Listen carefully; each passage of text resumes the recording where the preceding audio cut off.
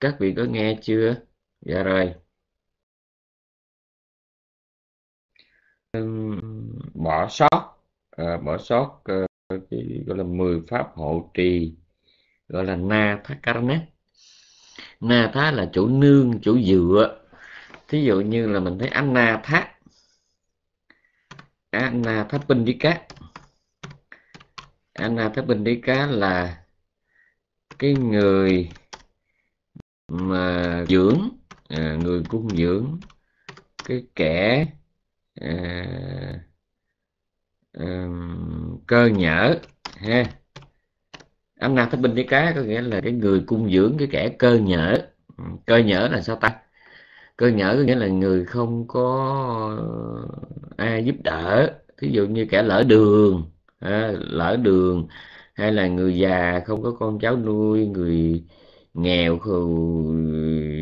không có cơm ăn áo mặc người bệnh không có thuốc men không có chỗ ở ờ, trú qua nắng mưa. Thì những cái cái người mà không không như vậy đó không này không kia đây gọi là anna thát còn cái na thát đây gọi là chỗ nương chỗ dựa.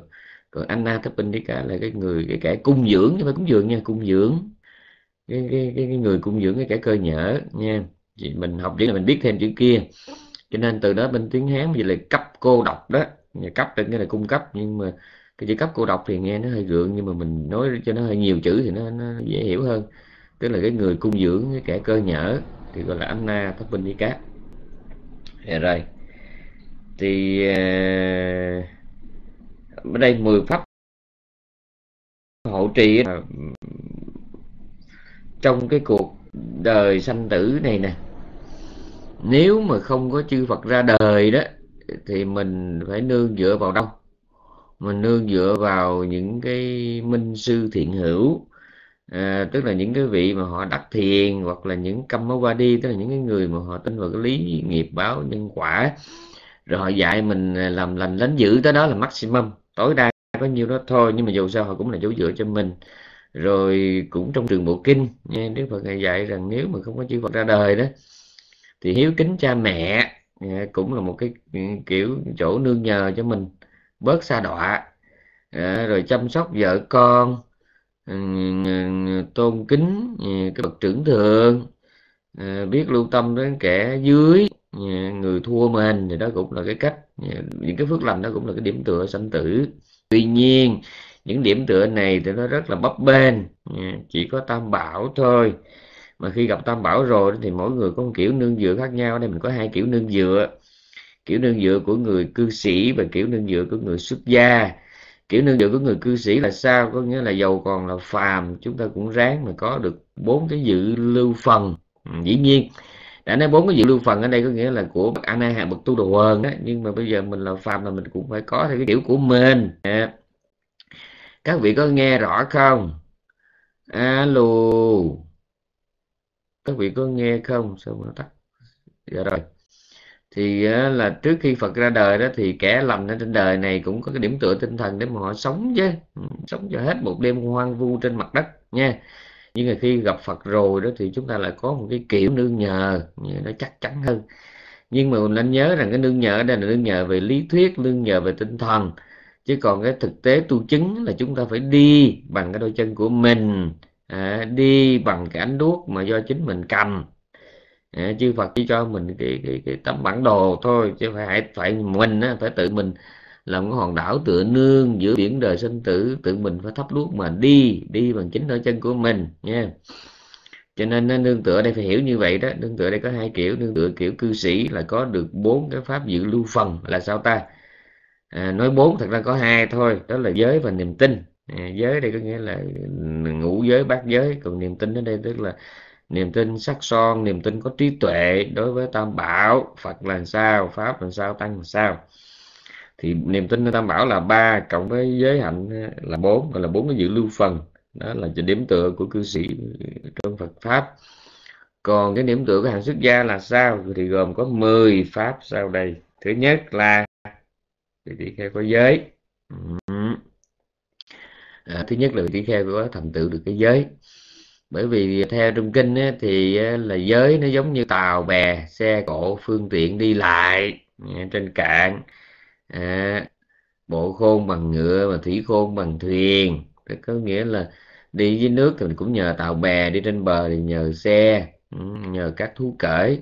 Thì giới nó chính là cái phương tiện đi lại nha còn cái cái cái cái tự cái trí á, thì nó giống như cặp mắt nha cho nên đó là cái giới không có giới là không có được. Bởi vì hôm nay mà chúng ta được làm người là nhờ giới. Hôm nay chúng ta có của ăn của để đó, thì bên cạnh cái bố thí đời trước hiện tại cũng phải có giới. Vì nếu không có giới bây giờ là mình sao ta? Tàn tật dị dạng. À không có giới là mình tàn tật dị dạng. Rồi gì nữa ta? Tai tiếng rồi bị thù oán bị kiện tụng rồi bị chúng ghét tùm lum mà những gì quý vị được hôm nay từ gia đình đến xã hội thì toàn bộ là do giới. Giới nó, nó góp phần hỗ trợ rất là nhiều. Đời xưa mình học này học kia mình đời này mình ngày xưa mình chịu tìm hiểu cái nào là thiện cái nào là ác cái nào nên là không nên. Thì cái đó gọi là nhân sinh trí. Ngày xưa mình bố thí ít nhiều cho nên đời này mình có vật chất. Nhưng mà ngày xưa nếu mình không giữ giới thì kiếp này mình khó được mang thân người. Mà nếu được mang thân người cũng khó là đầu óc áo tứ chi ngũ quan đầy đủ nha cho nên cái giới nó quan trọng vậy đó. Ngũ giới bất trì nhân thiên lộ triệt. Đấy.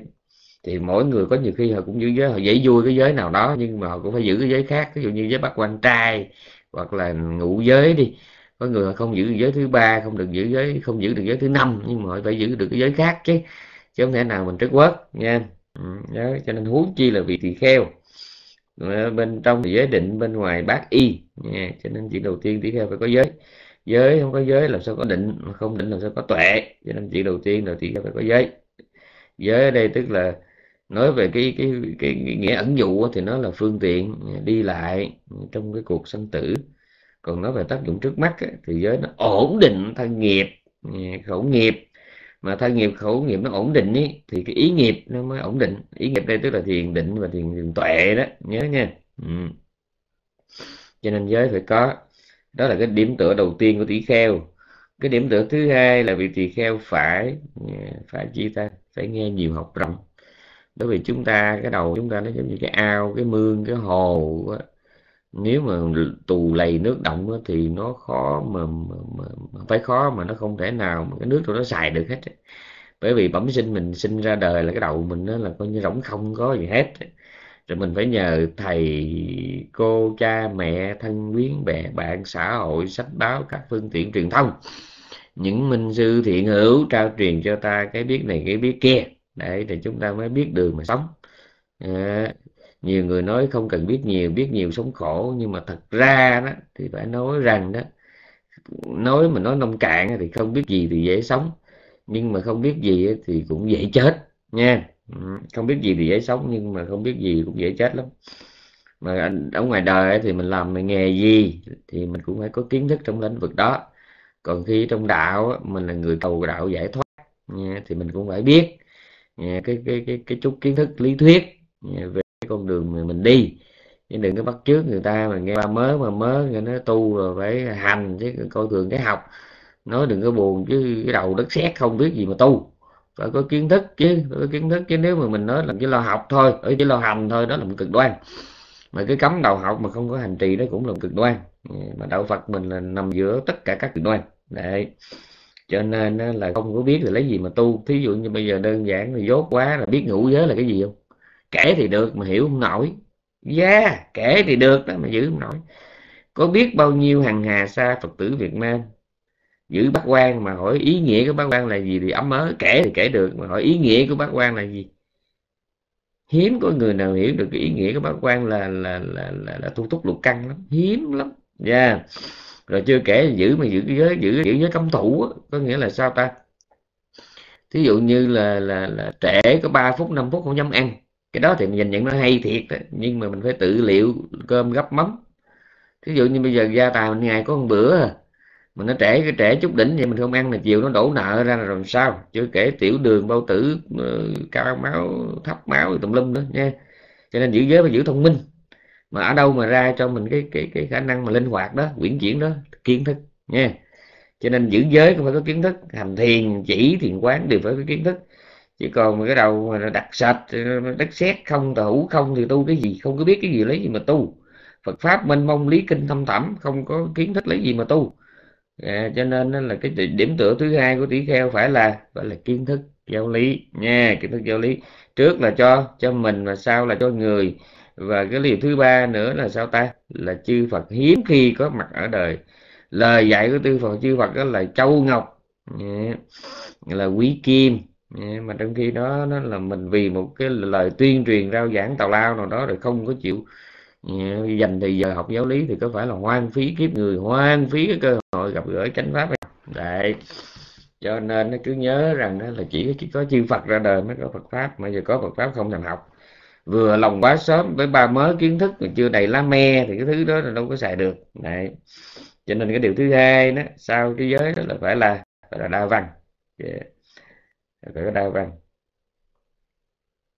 rồi cái tiếp theo đó là là là là là là là, là, là cái vị đó nó là, là phải có cái bạn lành à, phải có bạn lành bạn lành là sao ta bạn lành đến đây tức là là là là, là, là, là à, người hơn mình mà có thể giúp cho thiện pháp của mình phát triển ác pháp nó giảm đi người bằng mình người người kém hơn mình nhưng mà mà họ có thể giúp cho cái thiện pháp mình nó phát triển à, cái ác pháp nó giảm đi thì tất thảy hơn bằng và thua mà kiểu đó đó được gọi là bạn lành. Chứ không phải là mình cứ đèn đi kiếm mấy người hơn mà mình theo thì đó là một cái hiểu sai. Ừ, bởi vì nếu mà thằng tèo nó kiếm thằng hơn nó nó, nó theo nó, nó chạy theo thằng tí rồi thằng tí nó thấy thằng tèo thua nó rồi nó né thằng tèo hay sao? Đây là một cái chuyện rất là quan trọng nha. Cái chuyện này rất là quan trọng nha cái này rất quan trọng. À, kiếm bạn lành không hẳn là phải hơn mình mà miễn là cái người đó, đó họ có thể giúp cho mình mặt này mặt khác trực hay vậy là gián tiếp. Dạ, chứ còn không phải là mình cứ kiếm người hơn mình là mình làm lơ mấy người yếu hơn mình, nhưng mà ờ, cái đạo tâm của họ có thể ờ, khích lệ cho mình rất là nhiều. Tôi phải mang ơn rất là nhiều những người mà rõ ràng là Phật pháp có thể họ kém tôi đó, nhưng mà phải nói là cái đạo tâm họ mãnh liệt, sức tinh tấn họ kinh hoàng, nha. Chẳng hạn như kỳ rồi tôi về Việt Nam, tôi gặp một số bà con ở Tây Nguyên, thì cái sự nỗ lực của họ cũng làm cho tôi được khích lệ rất là nhiều thời gian gần đây mấy hôm đây tôi gặp mấy người bên Đức họ cũng cái sự nỗ lực của họ làm tôi giật mình. Giật mình có nghĩa là một tu sĩ tăng ni không tóc mà tinh tấn cỡ đó là đã hiếm rồi. Mà đằng này họ tóc tay đầy đủ mà tinh tấn như vậy thì đó là bản lâm đó. Bản lâm đây có thể là họ ở gần mình hoặc có thể là ở xa mình miễn sao mặt mũi của họ tin tức về họ bóng dáng về họ bóng dáng của họ mà gây gây tạo cho mình ấy, kích thích cho mình ấy, cái thiện tâm thiện pháp. Dạ, thì nó được gọi là bạn lành. Yeah. rồi cái tiếp theo đó là vị tỷ kheo phải. Ừ, phải có cái ừ, cái đây không phải là thiện ngôn mà là dễ dạy. Ừ, dễ dạy khiêm tốn. Dễ dạy cái thiện ngôn đây là suvachasata nghĩa là khiêm tốn. Khiêm tốn dễ dạy. Bởi vì trang tử có nói đó, biển là chỗ thấp nhất cho nên nước muôn sông đổ hết về biển người có tim cung, biết cúi đầu trước thiên hạ, thì bao nhiêu điều hay, bao nhiêu đức lành của thiên hạ nó đổ dồn hết về cho mình. Ở đây mới là lý thuyết, mà đây chính là một sự thật. Mình muốn đi học đạo, mà mình là cái đầu mà nó ngẩng cao lên, thì ai mà dạy cho mình? Nói như vậy không có nghĩa là mình sống trên đời này. Lúc nào cũng gục cái mặt xuống, sống bằng tự ti mặc cảm không phải. Nhưng mà cái cúi đầu của người khiêm cung, chứ không phải là cái gục mặt của người mặc cảm tự ti. Hai cái nó khác nhau thì anh em sống ở đời mà mình mình phải có khả năng tiếp thu. Mà cái khả năng đó nó luôn luôn nó đi kèm với cái, cái ni và tá là khiêm tốn. Ni và tá ni và tá là khiêm khiêm tốn khiêm cung. Ừ. Ờ, so what sapa đó là gì ta? Là dễ dễ dạy. À, ni bà tá ni bà tá như vậy là khiêm tốn khiêm cung. Ừ, thì phải như vậy đó chứ còn mà đi học đạo giàu học bạn học thầy nhưng mà lúc nào mình cũng nghĩ mình là, là, là, là ngon lành đó thì cái thứ đó là, là, là gặp mặt là đã ghét rồi. Yeah. Yeah. tao nó còn có một câu rất là hay đó là bất sĩ hạ vấn tức là đôi khi ờ, vì vì vì vì vì cần thiết là mình phải biết hạ mình chứ để mình học cái người kém hơn mình. Bác sĩ nghĩa là không có không có không có mắc cỡ. Hạ vấn nghĩa là khâm mình xuống mà hỏi cái người mà, mà thua mình. Đó trốn trốn. Ừ. Bác sĩ hạ vấn. Ừ. phải như vậy mới được. Chứ còn lúc nào mình cũng nghĩ mình không có cũng nội của chư thiên và nhân loại hết thì mình lấy gì mình học. Này rồi tiếp theo đó là cái vị đó là là là là là, là, là à, sống có trách nhiệm. Ừ, sống có trách nhiệm là sao ta? Sống có trách nhiệm có nghĩa là mình ở mình là khách hay là mình là chủ mình là khách tăng tha phương hay là tăng thường trụ à, hoặc mình là người nhỏ đối với người lớn người lớn đối với người nhỏ mình là thầy đối với trò mình là trò đối với thầy. Thì trong mọi hoàn cảnh lúc nào cũng ừ, liệu sự mà sống xử việc chứ không xử người. Đó là những cái đạo sống của trong Phật pháp đó. chứ còn ờ, quý vị biết tu đầu quần nếu mà nói theo A Tỳ Đàm ấy là coi như là không còn gọi là thân kiến hoài nghi. Yeah, đó là nói theo A Tỳ Đàm chứ còn nếu mà trong thực tế đó, thì cái vị tu đầu quờ đó họ dễ thương cực kỳ là vì sao? Là bởi vì đó là vị tu đầu quờ khi mà không còn thân kiến hoài nghi đó thì vị đó cũng không còn bỏng sẻn không còn ganh tị. Đó rồi sao nữa ta? Vị đó không còn cái thói quen là giấu giếm cái lỗi lầm lớn nhỏ của mình. Rồi gì nó ta? Cái này nó nó là liên quan cái mình đang giảng nè.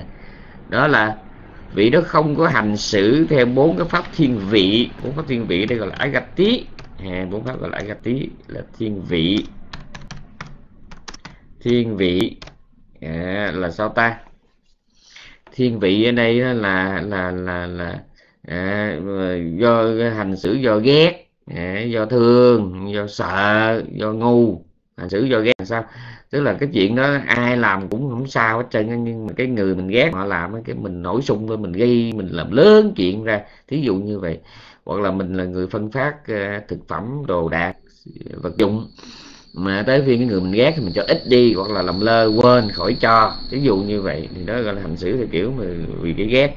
Còn cái thương là hãy cái người mình thương mình cho nhiều. Hoặc là cái đó đó là không được cho nhưng mà lại sách đem đi cho bởi vì người đó là mình thương. Người đó có lỗi lầm gì mình cũng bỏ qua. Thì cái đó được gọi là thiên vị vì vì thương vì mến nha. Còn thiên vị vì sợ có nghĩa là vì sợ người đó quá cho nên mình không có dám nói ra sự thật. À, mà một đất nước một dân tộc mà người người nhà nhà cứ thấp thỏm không dám nói ra sự thật thì đất nước đất liệu có đáng sống hay không? Một gia đình mà con em trong nhà, vợ, con nhà, con trong nhà cứ lắm la lắm lét, không dám nói. Cho người cha, người chồng gia trưởng thì cũng được. Sống ở đời mà còn có cái điểm mà mình phải thiên vị thì cái nơi chốn nó không có khá được. Bản thân mình nó là mèn, mà cái cái nơi chốn không gian mình có mặt nó cũng là chỗ không có đáng có mặt, bởi vì cái chỗ đó người ta không có tiếng nói, nha. Cho nên việc tu đầu quần không có hành xử theo cái thương, ghét hay là sợ. Còn cái thiên vị vì ngu là sao? Có nghĩa là tùy theo cái biết của mình mình mình biết sao mà làm vậy không có chịu tìm hiểu thì nó gọi là hành xử theo cái ngu si. Cái là mô hai cái tí là vậy đó. Có nghĩa là cái chuyện đó mình biết làm thì phải đi hỏi chứ mà mình thể nào mình lấy cái cái đầu của mình ra mình làm khuôn thước để mình hành động. Đấy. Các vị còn nghe không? Tại sao có người thì rất biết là sao ta? Ừ, rồi à, nhớ nha cho nên cái cái cái hành xử đây là vị phải sống có trách nhiệm có nghĩa là gì? Có nghĩa là sống cư xử rất là bình đẳng. Chuyện nên làm thì làm không vì lý do nào tắc trách. Cái ta phải ghi lại dùm cái đây là chuyện nên làm. À, thì làm. Không vì lý do nào mà đó cái này mới đặc biệt nha. Chuyện nên làm thì làm không vì lý do nào mà tắc trách.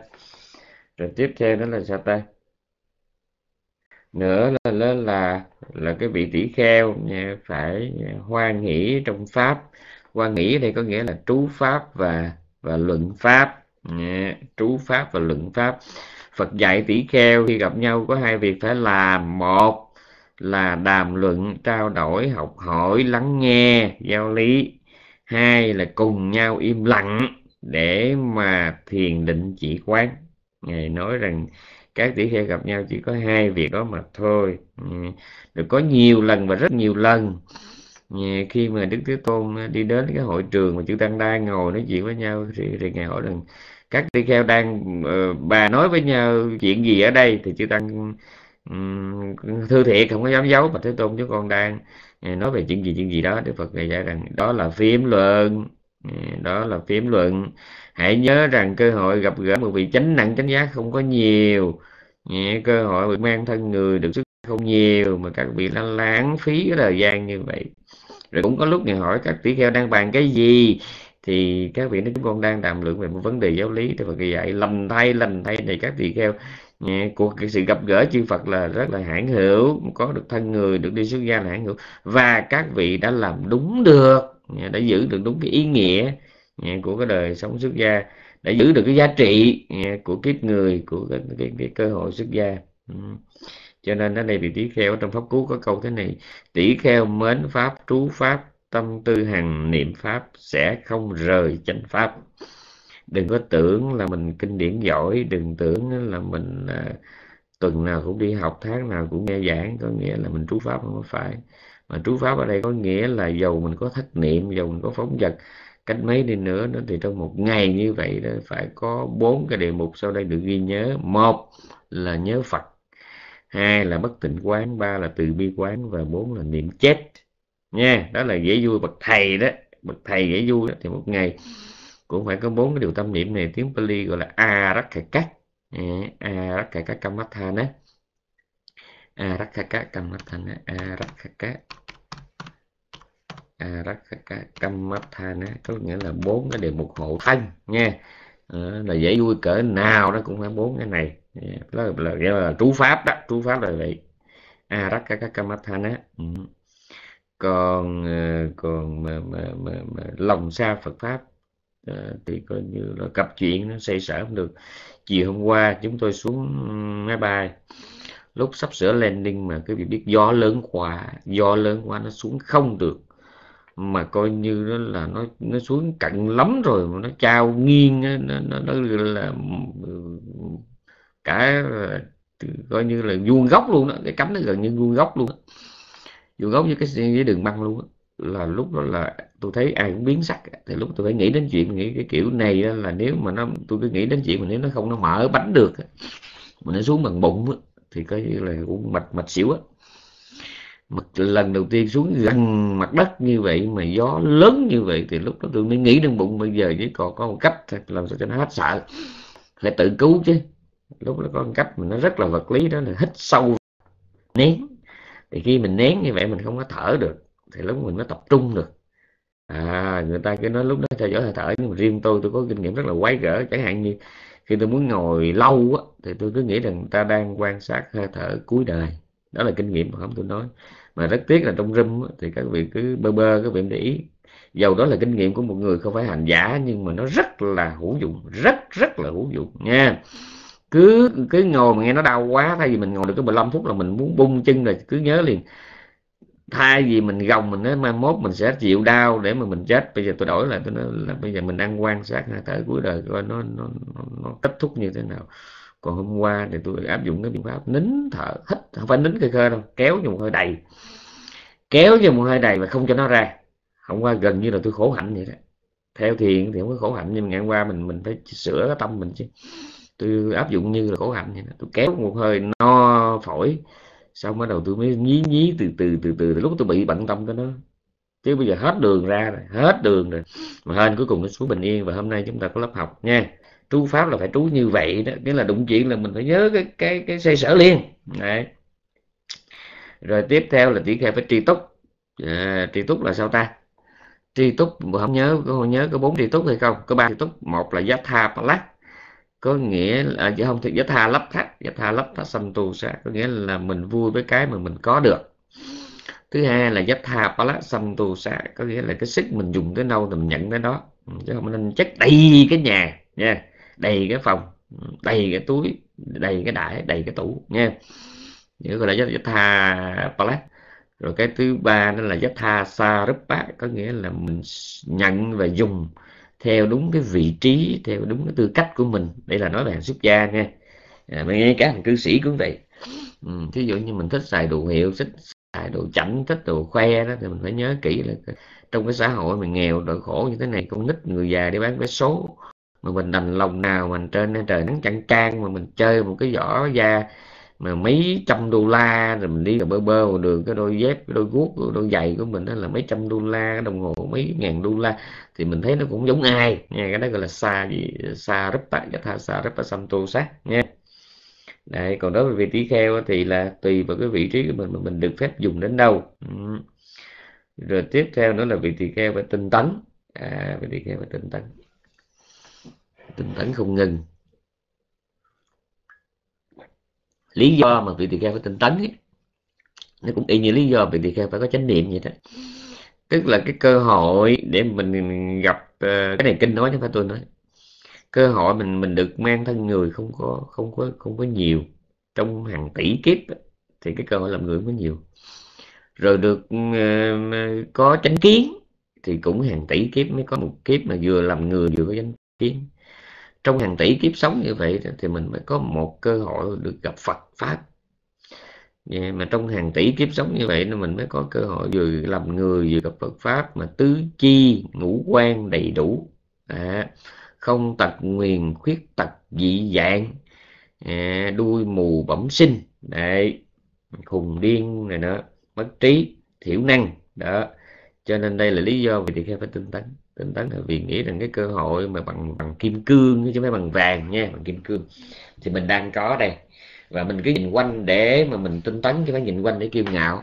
Mình nhìn quanh mình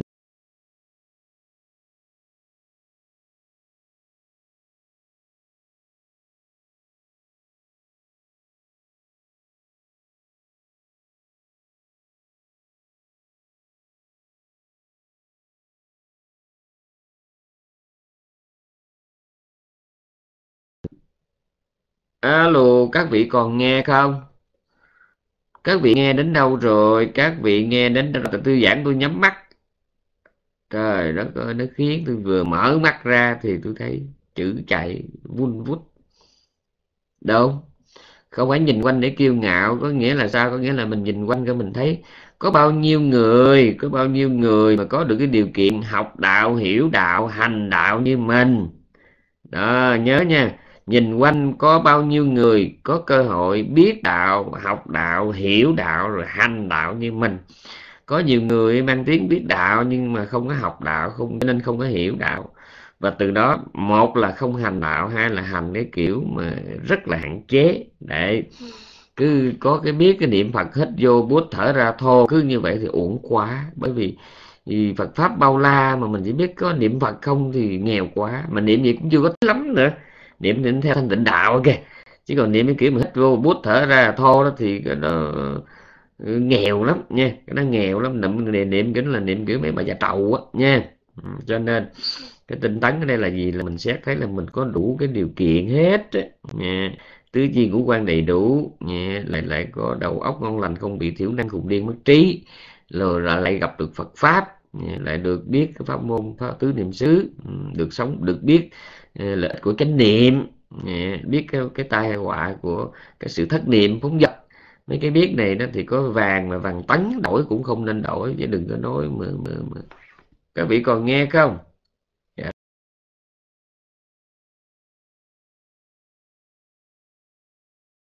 Gì ta? Dạ rồi. Ừ.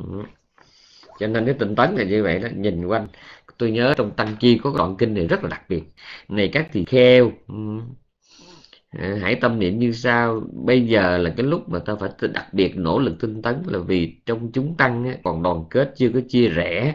Một ngày nào đó mà chữ tăng chia rẽ manh mún phe phái khắp nơi thì lúc đó cái sự tu tập của các tỳ kheo sẽ gặp rất nhiều khó khăn.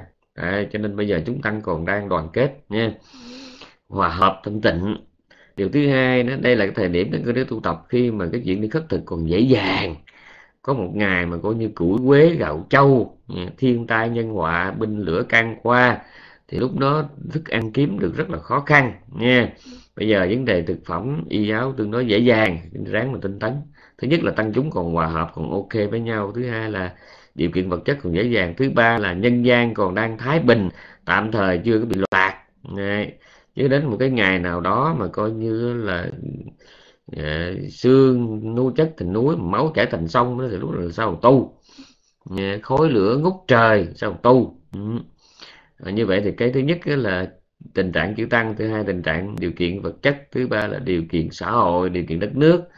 À, thứ tư là điều kiện sức khỏe bản thân. Bây giờ thì các ngươi còn khỏe mạnh cái chân còn đi bộ được cái lưng còn ngồi thẳng được. Này mình còn làm chủ, còn làm kiểm soát được, mình còn kiểm soát được ít nhiều ít nhiều cái tấm thân bất trắc, bất toàn này. Rồi mai kia mình no trên nói mà dưới không nghe đó, thì lúc đó còn chết dở nữa nha. Cho nên đây là những cái điều kiện mà vị tỳ kheo phải thường tâm niệm để mà để mà tinh tấn. Tiếp theo nữa là vị tỳ kheo phải ừ, phải sống với chánh niệm. Bởi vì phải nói rằng chánh niệm là gốc của tất cả thiền pháp trí tuệ là đỉnh, đúng, chánh niệm, chánh, trí tuệ là đỉnh, nhưng mà cái không có niệm thì không có cái đỉnh nào trụ nổi hết. Không có niệm thì không có định, không có niệm thì không có tuệ. Phải nói như vậy, bởi vì sao? Vì vì phải nói rằng đó là toàn bộ cái rắc rối nhân gian nó được khởi đi từ cái chuyện người ta không có kiểm soát được nói làm và suy tư cái gì. Mà chính niệm á, cái chánh niệm nó cho phép mình biết rõ, mình kiểm soát được mình đang nói là mình suy tư cái gì? Mình đang mình biết rõ mình đang sống với nhân lành hay là nhân? Nhân xấu. Mình biết rõ mình đang hưởng quả lành hay là quả xấu. Mình hiểu rõ là đời sống mình chỉ là thiện ác buồn vui. À, mà làm sao biết được đó ta? Chánh niệm. Cứ luôn luôn tâm niệm. Khổ thì biết đây là quả xấu đời trước mà được vui thì nhớ đây là quả lành đời trước. Thấy mình đang ác biết đây là nhân khổ đời sau. Thấy mình đang lành tăng thiên thì biết là nhân nhân vui đời sau. Cứ như vậy, chánh niệm như vậy, hoặc là chánh niệm cách khác. Mắt nhìn, tai nghe, mũi ngửi lưỡi nếm, thân xúc chạm ý suy tư. Thì cứ mỗi mỗi cái biết, mỗi mỗi cái hoạt động của sáu căn đều được mình ghi nhận rất là rõ ràng. Và tôi nói lại lần thứ một tỷ, đó là chỉ có người sống chánh niệm mới biết sống chánh niệm an lạc như thế nào. Tôi nói, nếu tôi mà không có, có cái khả năng mà biết chánh niệm tôi không dám nhận tôi là người chánh niệm nhưng mà tôi nói nếu tôi không có chánh niệm thì tôi đã điên từ lâu lắm rồi nha. Tôi không có Phật pháp tôi đã điên từ lâu là điên đó điên về tình đời điên về tình người nha điên về bản thân nha. Nhưng mà nhờ có niệm ấy, khi mà điên quá nó nhớ nhớ nhớ mình còn có cái chỗ để mình chui về mình tốt nha. rồi cuối cùng là gì ta? Là trí. Cái chữ trí ở đây trong Phật pháp nó không phải là mình là nhanh lẹ nhớ giỏi hiểu nhanh. Mà trí ở đây có nghĩa là cái khả năng nhận thức cái tánh sanh diệt. Yeah, bởi vì nhớ thế này.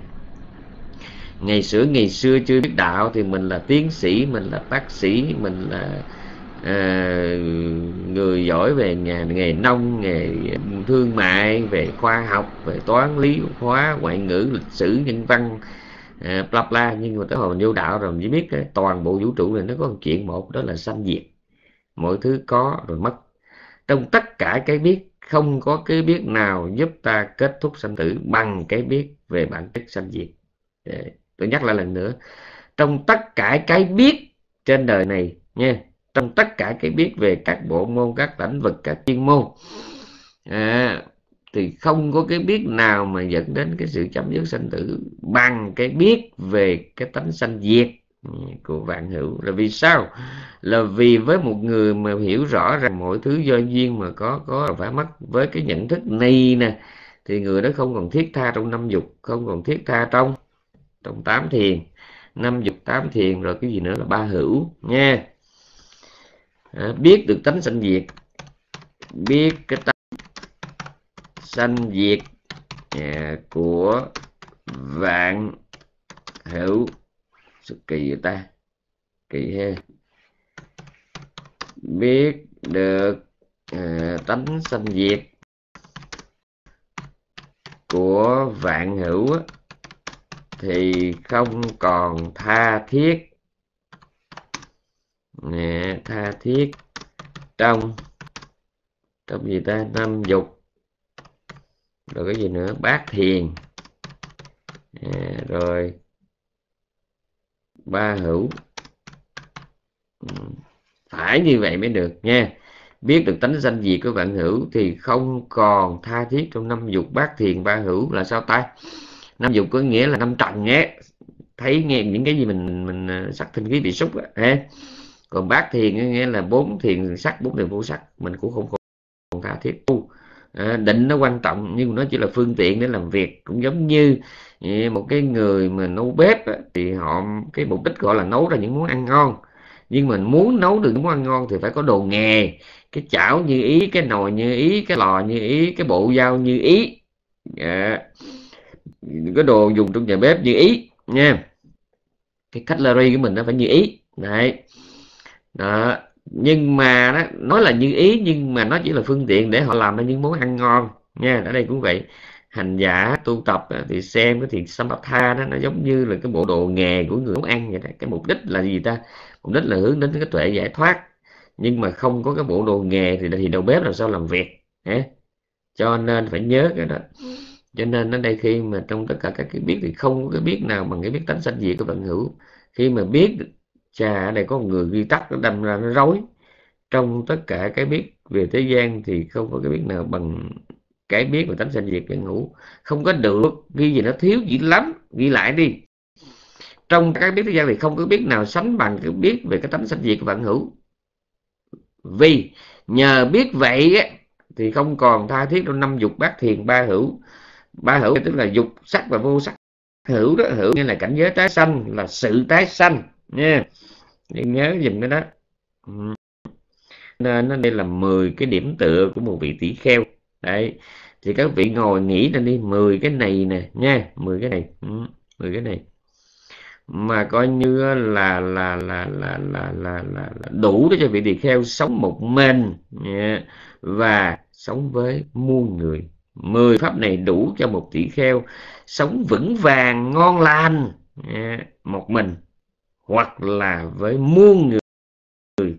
Đấy trong đó là mình thấy ngó kỹ một vị tỷ kheo mình được như vậy là quá tuyệt vời nha. Rồi, xong cái phần phần sót á. Rồi bây giờ tiếp theo là cái gì ta? Bữa hôm mình mình giảng tới đâu rồi, làm sao mà tôi nhớ được trời? À bây giờ là 10 pháp khó thể nhập. Trốn trốn 10 pháp khó thể nhập. Ừ đúng tức là 10 thánh cư đó. Dạ, à, 10 thánh cư. Dạ, à, 10 thánh cư. 10 pháp có thể nhập. 10 thánh cư. Dạ, à, 10 thánh cư. Gọi là Ariya Hòa Ariya Hòa tức là gì ta? Là cái trụ xứ thánh nhân đó. Cái Ariyawasa Hòa nghĩa là trụ xứ thánh nhân. Có nghĩa là thánh nhân sống ở trong mấy cái này nè. Đó sống ở trong mấy cái đó đó. Ừ. sống ở trong mấy cái đó, đó. sống ở trong mấy cái pháp pháp mấy cái pháp thì thì thì thì thì thì thì thì thì thì. Ừ mười cái trụ xứ của thánh nhân. À, mười cái trụ xứ là gì? Là bỏ năm có sáu có một có bốn. Đấy thì cái này thì chúng tôi nghĩ rằng không có cần giải thích thì bà con cũng hiểu rồi. Nhưng mà nói cho nó đủ thêm lấy giờ bỏ. Thứ nhất là tỷ kheo phải bỏ được năm điều. Rồi có được sáu điều có được một điều. Ừ bỏ được năm điều là gì? Bỏ được năm triền. Và không nói rồi cái đó nó cũng là năm cái pháp cần phải bỏ. Thứ nhất là tham dục có nghĩa là cái sự đam mê trong các trần cảnh. Còn, còn cái sân tham nó là dục triền. Còn cái cái dục triền là sự đam mê trong các trần cảnh. Còn cái sân triền là sự bất mãn trong các trần cảnh. Đó. còn cái hôn thủy là cảm giác lờ đờ trong trần cảnh à, à, bất mãn. Bây giờ đam mê trong trần cảnh là gì ta? Thì khỏi giải thích quý vị biết rồi. Thích nghe cái này thích ngửi thích nếm thích sợ chạm thích suy tư lòng vòng trong năm dục á nha thì đó được gọi là dục triền cái. Triền đây nghĩa là trói buộc hoặc là chặn đứng che khuất. À, còn sanh truyền cái là sẽ bất mãn. Bất mãn trong những gì mình nghe ngửi nếm đụng các vị nghĩ trong một ngày như vậy có nhiều người họ nói tôi nói sâu sâu trong sâu trong kinh phiền não có một chỗ kể tham sân si, có một chỗ kể 10 truyền phượt, mà sẽ có một chỗ kể năm truyền cái? Tôi nói, trời đất ơi, kể năm cái này tức là kể ba cái kia đó cha. Mà đây là cái cách kể mà cho nó gần với đời sống thường nhật của mình nha. Cái vị tưởng tượng từ sáng ngủ lại đó, có phải là các vị với vị luôn luôn vật lộn với năm cái thứ phiền não này hay không? Thứ nhất, thích cái này, thích cái kia còn không nó thì bất mãn cái này bất mãn cái kia. À, cầm cái muỗng tính ăn. À, thì cái muốn ăn đó, đó là dục truyền cái. Cầm cái muỗng thấy nó nhớt lầy mà nó tâm rinh nè. Đó là sân truyền cái. Đấy nó bất mãn mà. Nha cứ nhớ vậy đó. Nhớ nhớ cái này quan trọng lắm. Đổi quá muốn ăn đó là dục truyền cái. Cầm cái muỗng lên đi gốm quá thì ớn quá đó là sân truyền cái. Nha chọt cái muỗng vô trong cái miệng đồ ăn mình mới vừa tính mình lấy cái muỗng mình múc riêng thì mình lại thấy cái ông kia ông cầm cái đũa ông đút vô miệng rồi ông lấy cái đũa ông ghim vô trở lại cái dĩa thức ăn tập thể. Thì mình lại khó chịu một lần nữa đó cũng là sân truyền cái nhìn thấy những món vừa ý đó là dục truyền cái mà thấy người ta chọt cái đũa vô đó là, là sân truyền cái mà có rất nhiều người không có để ý cái chỗ này tôi thấy người tàu người việt mà ăn lẩu lậm xương sống tại sao người châu á dân đông nam á mình nó lại dễ bị bệnh gan nè? Cái bệnh đó nó lây kinh lắm không? Nó lây dữ lắm. Tôi nói này lạc đề nhưng sẵn mượn cái cớ này tôi nói luôn là mình không có biết rằng cái nước bọt của mình nó, nó là cái chỗ truyền bệnh rất là là, là phải nói là, kiểu kiểu truyền bệnh rất là phổ biến rất độc hại mà đồng thời cái nước bọt của mình nó làm cái thức ăn mau hư hơn. Ví dụ như nếu mình ăn tới đâu mình lấy muỗng mình múc ra vô cái phần cái gì đĩa cái tô cái chén của mình á mà mình đừng, đừng có cho nước bọt vô trong đó đó thì cái phần ăn nó nó sẽ lâu hư. Nhưng nếu mình cứ chọt cái đũa vô miệng rồi mới chọt vô cái dĩa nó trở lại đó nhất là có nhiều người họ gấp thức ăn họ còn khuấy khuấy cái đũa giống như họ rửa nước bọt ở trong cái tô đó đó. Thì cái phần thức ăn còn lại nó sẽ mau hư hơn bởi vì nó có tới là bao nhiêu thứ nước miếng trên bàn nha. Nó dông vô hết trong cái tô cái dĩa đó nha cho nên mình thấy từ sáng tới chiều hết thích thì qua bất mãn mà hết bất mãn thì nó qua thích từ sáng tới chiều nha. Rồi tới cái thứ ba là hôn thủy. Hôn thủy là gì? Hôn thủy là cái cảm giác làm biến nè cảm giác buồn ngủ nè cảm giác buông xuôi nè cảm giác muốn ngã lưng cảm giác muốn khép mắt nè. Dầu khép hờ hay là khép chặt. Đó nhớ nha. Thì cái hôn thủy nó là lười biếng hoặc là buồn ngủ muốn nghỉ ngơi đấy, muốn buông xuôi đấy.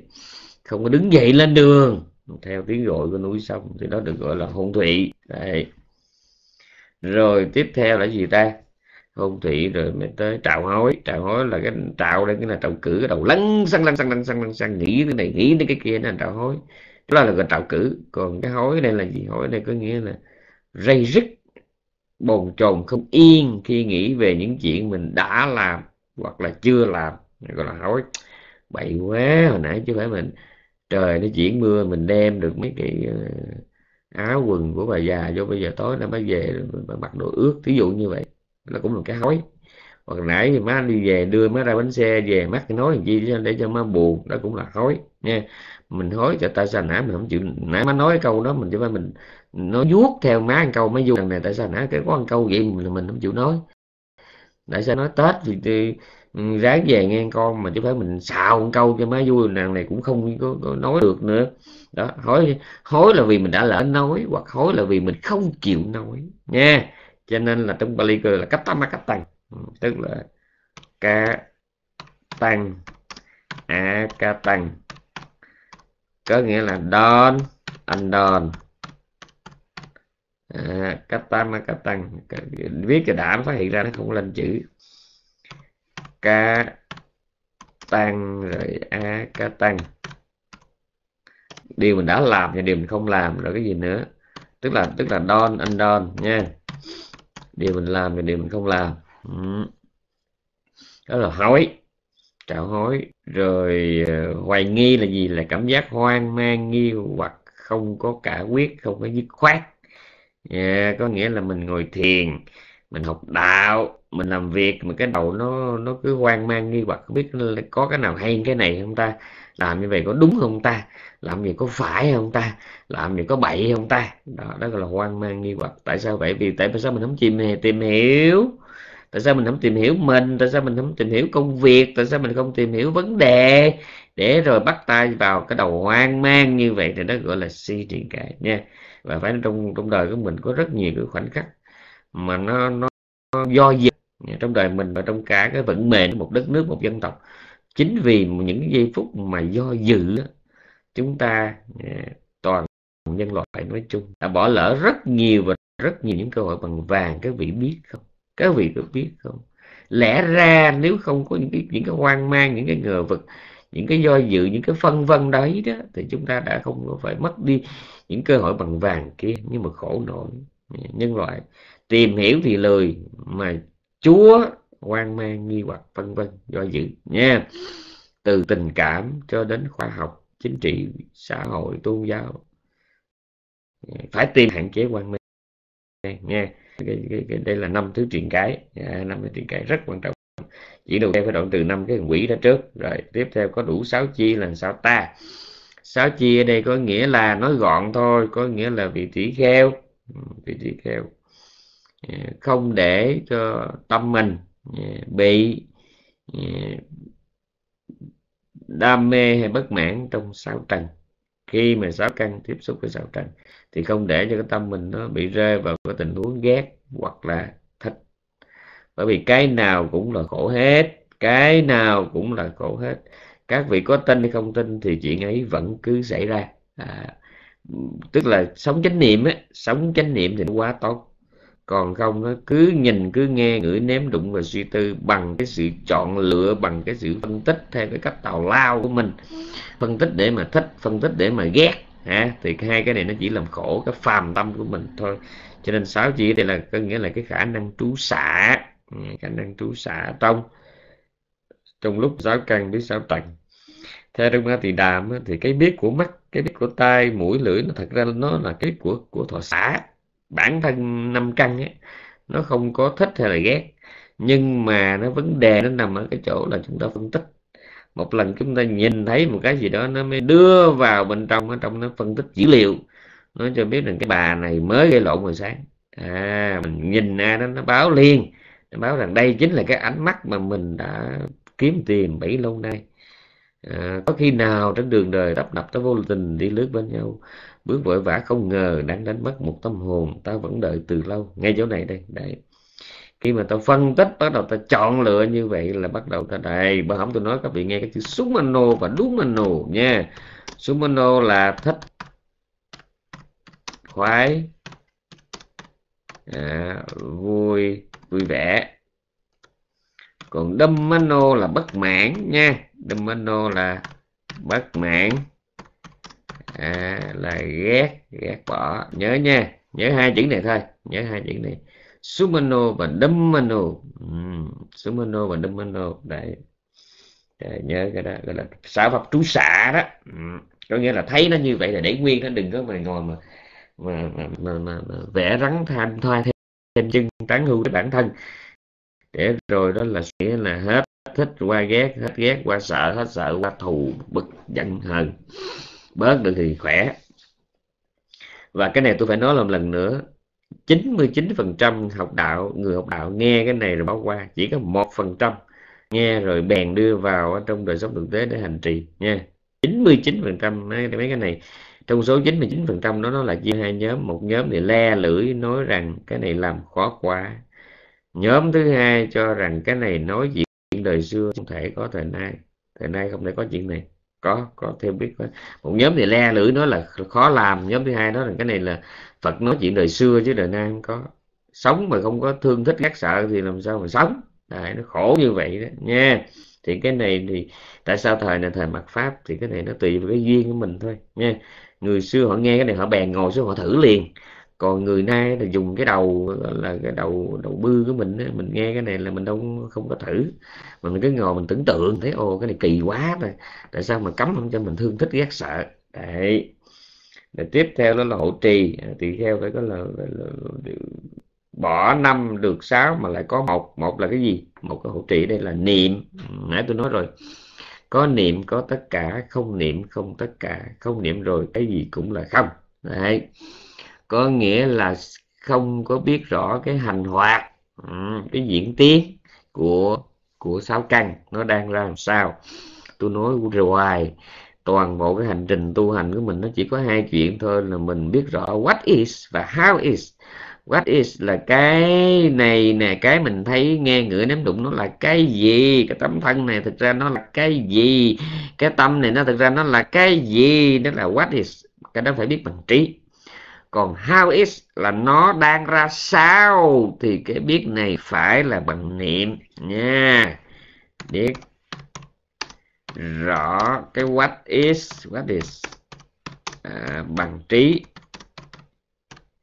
Rồi cái how is là bằng niệm how is là bằng bằng niệm. À, nhớ bao nhiêu nó toàn bộ đời sống tu hành có bao nhiêu đó thôi nha chứ không có cái gì cao siêu hết chỉ có bao nhiêu. Để biết rõ cái what is bằng trí và how is bằng này. biết rõ cái thân này đó nếu mà nói theo A Tỳ Đà thì nó chỉ là đất nước lửa gió và 24 24 sắc pháp phụ trợ. Còn về danh thì chỉ, chỉ có một tâm vương và 52 tâm sở nha. được gọi là một tâm thiện hay ác tâm gì tâm gì? Tâm dục hay là tâm thiện hay tâm thánh? Thì chỉ tùy thuộc vào ba điều kiện. Một nó dựa vào căn nào hai biết cảnh gì và ba là tâm sở nào là cấu thành nên nó. Đấy. Thì biết rõ thân và tâm như vậy được gọi là biết rõ cái what is. Biết rõ cái động tác đi đứng nằm ngồi này nó là sắc pháp được điều khiển bằng ý muốn. À, chính cái tâm thức chính cái chetana chính cái manasika đó. À, nó mới tác động cho mình đi đứng tác động cho mình có thân biểu tri cái khẩu biểu tri biết rõ đó gọi là biết rõ biết what is biết cái thân tâm này nó là cái gì. Còn biết rõ cái how is là biết rõ nó đang diễn tiến ra sao có nghĩa biết rõ mình đang thở ra vào. Biết rõ mình đang thở ra biết rõ mình đang đi biết rõ mình đang uống đang nằm đang ngồi đang vui đang buồn đang sân giận đang đam mê ham thích lặp lặp lặp la. Thì đó được gọi là biết bằng niệm nha. À, bằng niệm. Rồi tiếp theo đó là thực tỷ kheo thiện bốn cái y. Bốn y, kiếm cái Bali cho nó sang cho còn bốn y là bốn cái gì, tôi biết thì chết liền. Ừ. Bốn y bốn y bốn y. Để coi à, bốn y. À Chatura Passino. Ừ. Là sao ta? Bốn y. Vị tỷ kheo sau khi suy tư thọ dụng một pháp. Sau khi suy tư nhẫn thọ một pháp. Sau khi suy tận trừ một pháp. Sau khi suy tư ừ, tránh xa một pháp. Làm sao? Có nghĩa là có vị nhớ là cái bài kinh mà coi như là nhất thiết lộ hoặc. À nhất thiết lộ hoặc. Thiết lộ hoặc ở trong uh, ở trong để coi để ai gửi gì đây.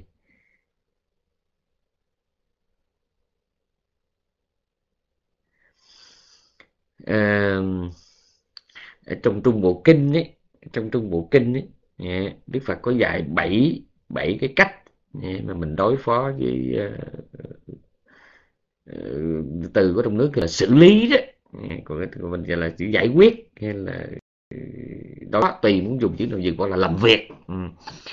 gọi là bảy cái cách để làm việc với phiền não đó. Sống chung với lũ. Ừ. sống chung với lũ. Có nghĩa là sao ta? Có nghĩa là, có nghĩa là có trường hợp vị tỷ kheo á phải giải quyết một cái phiền não bằng cách là gông mình chịu đựng.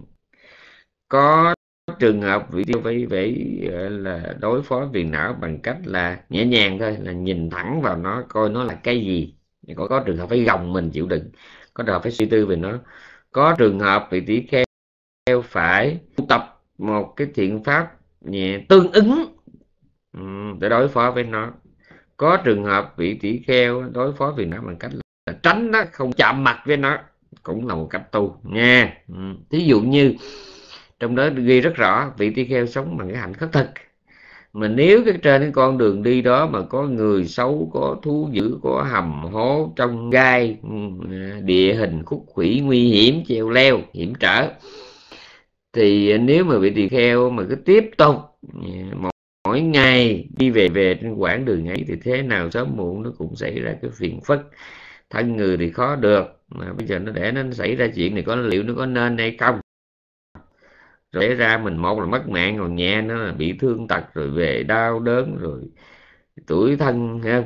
Cho nên tốt nhất cái thầy là có những trường hợp, có những tình huống mà vị tỷ kheo phải đối phó phiền não bằng cách là lìa bỏ lìa bỏ một cái nơi trốn một cái người người một vật nào đó. Các vị có nhớ bên tây nó có nói rằng nên là có ba cách để chúng ta giải quyết vấn đề. Một là chúng ta chấp nhận nó. Hai là chúng ta chuyển hóa thay đổi nó và ba là lìa bỏ nó. Nếu mà, gọi là, lìa nó không được thì phải chuyển hóa nó. Mà chuyển hóa nó không được thì phải chấp nhận nó, hoặc là ngược lại. Nếu chấp nhận không được nó thì chuyển hóa nó, mà chuyển hóa nó không được thì lìa bỏ nó. Rất nhiều cách. Lìa bỏ không được thì thay đổi, mà thay đổi không được thì chấp nhận, hoặc là ngược lại chấp nhận không được thì thay đổi thay đổi không được thì phải bỏ nó luôn. Ở đây cũng vậy. Vị tỷ kheo á, là à, là đối với một số chuyện vị tỷ kheo phải dùng trí. À, dùng trí mình phải chấp nhận. À, phải chấp nhận rồi thọ dụng. À, rồi tránh xa. À, à, sau khi sư tư thọ dụng một pháp sư tư nhẫn thọ một pháp sau khi sư tư đoạn trừ một pháp là như vậy đó là như vậy đó là có những trường hợp vị tỳ kheo phải đương đầu mặt giáp mặt. Có những trường hợp vị tỳ kheo đó là đương đầu nghĩa là gồng mình á là bằng khâm nhẫn. Có những trường hợp phải bỏ hẳn nó đi. Ừ, phải bỏ hẳn nó. Có trường hợp mình phải chấp nhận đó. thí dụ như là mình bị bệnh thì phải uống thuốc. Bị bệnh là phải uống thuốc. Yeah.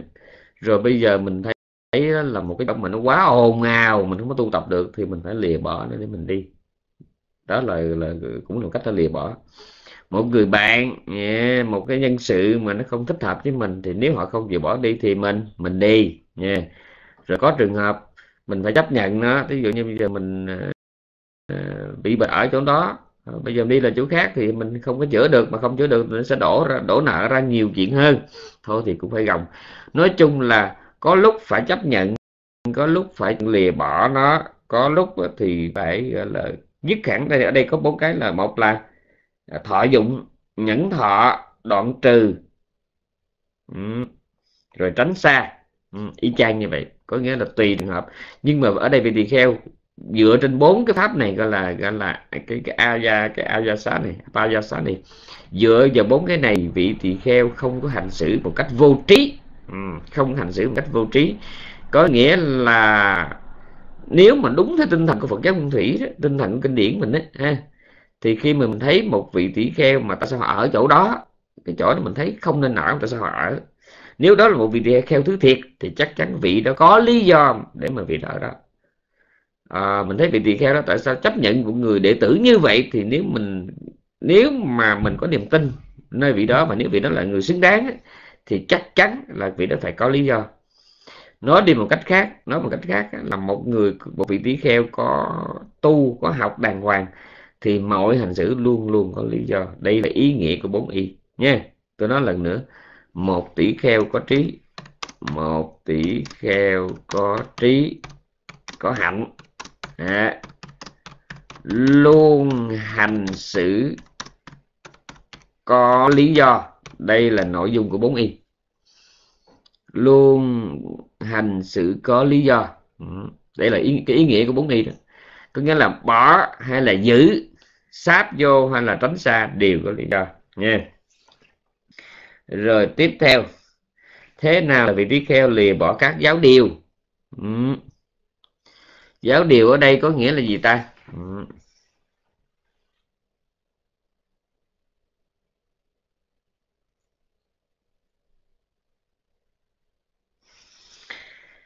gọi là Banun Pache Casacho um, Pache Casacho cái chữ này nó rất là hay. Cái chữ này cái chữ cái chữ Pache Casacho có nghĩa là gì? Là cực đoan. Uhm, bắt chia cá là một là cá nhân mà Sacho là chân lý nha. Cái chân lý một chiều một phía là phiến diện. Um. à, Pache Casacho là sự thật phiến diện. Pache Casacho um à, sự thật phiến diện. Sự thật phiến diện. Ở đây thì cái vị tỷ kheo phải tránh xa. Ừ, phải tránh xa phải tránh xa phải đề phòng phải luôn luôn cảnh giác với cái những cái gọi là uh, những giáo điều thông thường mà các sa môn thông thường chủ trương. À, đặc biệt đây là ngày nay đó trong cái thời đại mà tôi gọi là mạt pháp này nè chúng ta để ý này. chúng ta thích theo tổ hơn là theo phật. Chúng ta thích theo lệ hơn là theo luật nha nhớ cái này mình bây giờ theo thầy theo tổ chứ không thích theo phật. Chúng ta thích sách chứ không thích kinh. Sách nghĩa là do đời sau làm đó. À, thích theo thầy tổ mà không có thích phật thánh. Thích theo sách mà không thích theo kinh. Thích theo lệ mà không có thích theo luật. Đó trong khi đó đó là là là là, là cái cái cái cái điều căn bản của mình đó là lúc nào cũng trong kinh đó là thế tôn lúc là, là, là gốc hết ừ, gọi là Phakawa Mulaka đó. Tức là thế tôn lúc nào cũng là gốc. Lúc nào cũng lấy chánh pháp làm gốc. Lúc nào cũng lấy cái sở hành cái sở kiến của thánh nhân làm gốc. Y cứ vào chánh điển kinh điển lấy kinh điển làm gốc. Ở đây cái đại kỳ ở đây đó là gọi là, là gọi là cái bú thú. Bú thú ở đây nghĩa là phổ thông. Phổ thông hay là thông thường. Giống như chữ bú thú chân á. Bú thú chân á. Ờ, bú thú chân á có nghĩa là phàm phu à, phàm có nghĩa là thường. À, bú thú là thông thường bình phàm. Còn chánh á là con người con người bình thường có nghĩa là phàm phu nha. Nha bú thú. Mà chữ bú thú này nó còn nó còn chỉ cho cái gì cái gì mà tập thể đông đúc. Thí dụ trong tiếng hán nó có chữ côn. Côn trùng. À, côn trùng là gì ta? Là cái loài à, động vật à, thường sống thành bầy đàn. Mà đông đúc vô số. Đông đúc vô số. Thì gọi là côn côn trùng. Chứ côn đây có nghĩa là nhiều. Chữ bú thú đây có nghĩa là nó có hai nghĩa. Một là nhiều là lớn rộng, mà nó cũng có nghĩa là bình phàm, là phổ thông, không có gì độc đáo, không có gì. Very normal, nha. Nhớ cái đó cho nên nó mình học thêm một chữ nữa chữ phú thú để có nghĩa là bình phàm là thông thường, không có gì đặc biệt, không có gì xuất sắc. Ừ. Không có cái sở chứng, không có sở kiến gì, một vị sa môn, một vị bà la môn, mà không có sở chứng, sở kiến, sở hành đặc biệt. Sở chứng, sở kiến, sở hành đặc biệt thì gọi là phú thú nha không có cái gì đặc biệt. Thì nhớ cẩn thận, bởi vì một người tu học muốn tiến bộ phải nhớ tránh cái chuyện là theo tổ bỏ phật, bỏ kinh, theo sách bỏ luật theo lệ thì hiểu được cái đó là mình hiểu được cái điều này là loại bỏ các rồi tiếp theo là cái gì ta? Là tỷ kheo đoạn tận các mong cầu. Ừ, bởi vì ở trong kinh nói à, trong trường mà trong trong kinh gì ta? Kinh gì ta? Kinh kinh phúng tụng á, có nói là trên đời này nó có ba cái hạng chúng sinh. Cái hạng thứ nhất á, là cái hạng không có hy vọng cái hạng thứ hai là hạng có hy vọng và hạng thứ ba là hạng không thèm hy vọng. Hy vọng đây tức là hy cầu á hy cầu là mong mong mỏi và trong đợi á. Đúng ra đây cái esana đây là là, là nó nó nghĩa là kiếm tìm. Ừ, chữ esana là tính kiếm tìm. Như bữa tôi nói với quý vị chữ mahesi mahesi. Mahesi là cái người à, có cái lý tưởng à, cao xa gọi là mahesi mà nó cũng có nghĩa là hoàng hậu cũng có nghĩa là hoàng hậu. Ừ, hoàng hậu vì sao vậy? Vì nó có cái câu này nè người đàn ông lý tưởng là người có khả năng tìm được số tiền lớn hơn nhu cầu. Nha người đàn ông lý tưởng là người có khả năng tạo ra cái tài chính lớn hơn nhu cầu và người đàn bà mà giỏi giang là tìm được cái mẫu người đàn ông đó về làm chồng không? ông vua là cái ông mà nắm cả cái trời đất. Thì cái người đàn bà mà khi sanh ra làm sao mà lụm được cái ông này về nó thì cái người đó là, là số một. Trên đời này không có ai mà đáng để mình collect không có một cá nhân nào đáng để mình sưu tập cho bằng cái ông vua ấy mà làm làm con người á, mà mà mà, mà sưu tập a à, sưu tập nghe cái cái cái kẻ này là là cái kẻ biết sưu tập gọi là the best collector nha.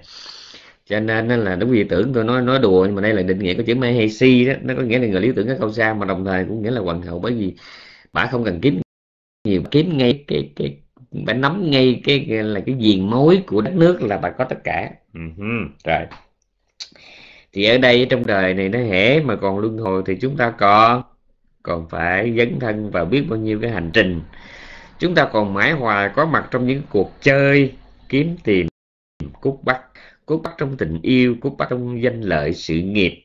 Cút bắt ở trong cái uh, tiếng tâm quyền lực trong đạo ngoài đời bla bla bla bla. Hãy còn bằng phu thì mãi hoài. Chúng ta cứ isana và isana kiếm tìm và kiếm tìm liên tục còn có làm máy hesi hay không thì tùy kiếp. Có kiếp sinh ra làm máy hesi biết theo đuổi những lý tưởng lớn. Còn không thì đa phần trong đời sống mình chỉ biết theo đuổi những cái tào lao.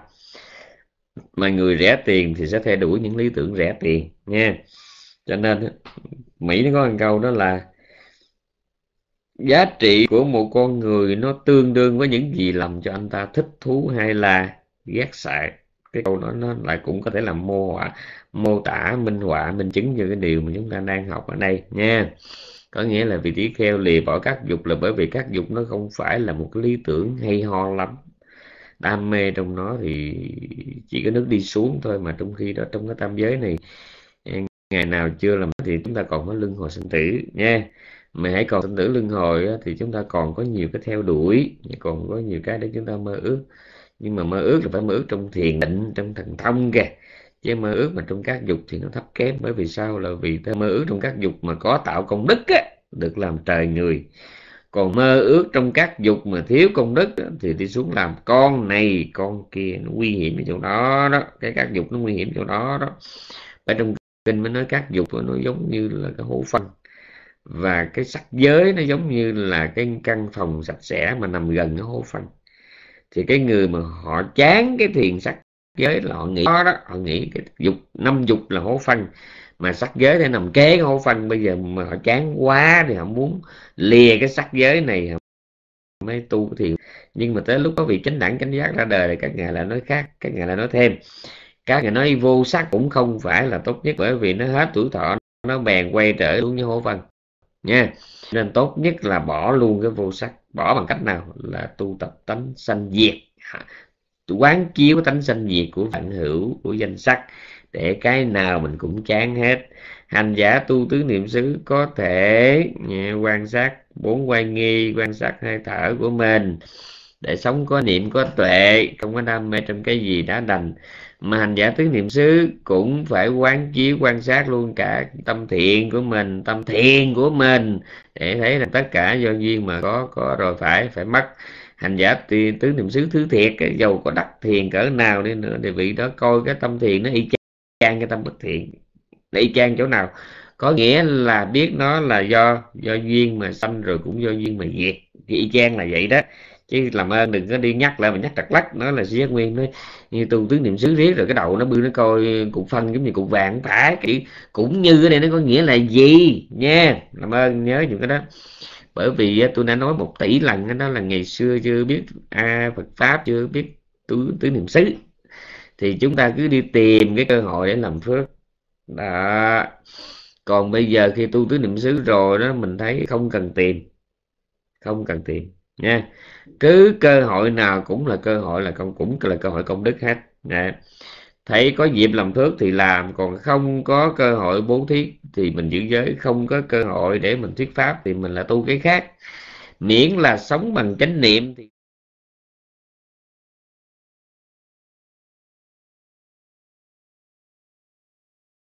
Đấy, kỳ ta.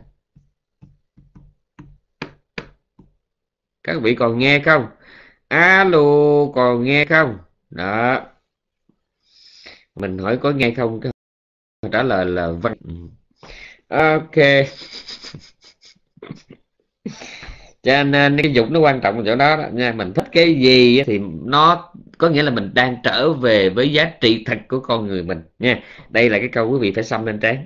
Ta thích cái gì có nghĩa là ta đang quay về với giá trị thực của mình ta ghét cái gì thì cũng có nghĩa là ta quay về với một nửa kia của mình. À, hai cái này phải ghi nha. Chắc phải phải tôi đọc chậm lại. Ta thích cái gì là ta đang quay về với con người thật của mình. Mà ta ghét cái gì thì ta đang quay về với một nửa kia của mình. Là vì sao? Là vì con người thật của mình nó có hai mặt. À, thì cái mình ghét nó là một nửa kia. Mà ở ngoài đời không có biết Phật pháp họ nghe nói một nửa kia họ cứ tưởng là cái người phối ngẫu không phải. Phải một nửa kia là cái cộng xương sườn số 7 không phải. Mà một nửa kia có nghĩa là một phần còn lại của con người thật của mình nha. Quan trọng lắm quan trọng lắm. À, thì ở đây vị tỷ kheo tiếp tục là vị tỷ kheo có tâm không có trị phượt là cái gì ta? À, không có trị phược ly kia bằng cái gì đây này mới ghê chứ. Không có trái phược đó là là bỏ bỏ đó đúng rồi. Hồi nãy chúng tôi đang giảng về ba cái bốn cái kiếm tiền thì tiếp theo là vị tỷ kheo không có anna vila anna vila đây có nghĩa là khuất lấp. Ừ, anna lá không khuất lấp na với các sang ba. Có nghĩa là không có cái suy tư khuất lấp là có nghĩa là sao? Có nghĩa là không sống bằng không có sống bằng cái ờ, tà tư duy. Không có sống bằng cái tà tư duy. Ở đây là nhà con cái bản việt bản tiếng việt dịch là cái gì ta? Bản tiếng việt dịch là tâm tư không trệ phượt rồi thế nào là không trệ phượt ở đây thì theo động từ các tâm tư dục vọng. Cái tâm tư dục vọng động từ tâm tư sân hận động từ tâm tư não hại. Nếu mà người không có đọc bản Pali thì có trời mà biết. Nha, khó lắm nha cái này là nói về ba cái tà tư duy. Ba cái tà tư duy lại thêm một dịp nữa nếu quý vị thấy. Phiền não có đôi khi kể là tham sân si có khi kể, kể là năm triền có khi kể là mười phật nhưng mà chỗ này phiền não chỉ kể có ba đó là ba tà tư duy nha. Có nghĩa là vị tỷ kheo không có sống ở trong ba cái thì từ cái gọi ba cái tà tư duy đó gọi là ờ, dục tư duy sân tư duy và hại tư duy. Tư duy là đam mê cái này thích thú cái kia đó là dục tư duy. Sân tư duy có nghĩa là bất mãn cái này ghét bỏ trốn chạy lánh xa cái nọ. Thì đó gọi là sân tư duy nha bất mãn.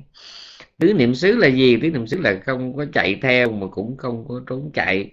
À, thiện có thì tốt, nhưng mà nó cũng chỉ để mình quan sát biết thiện đang có mặt.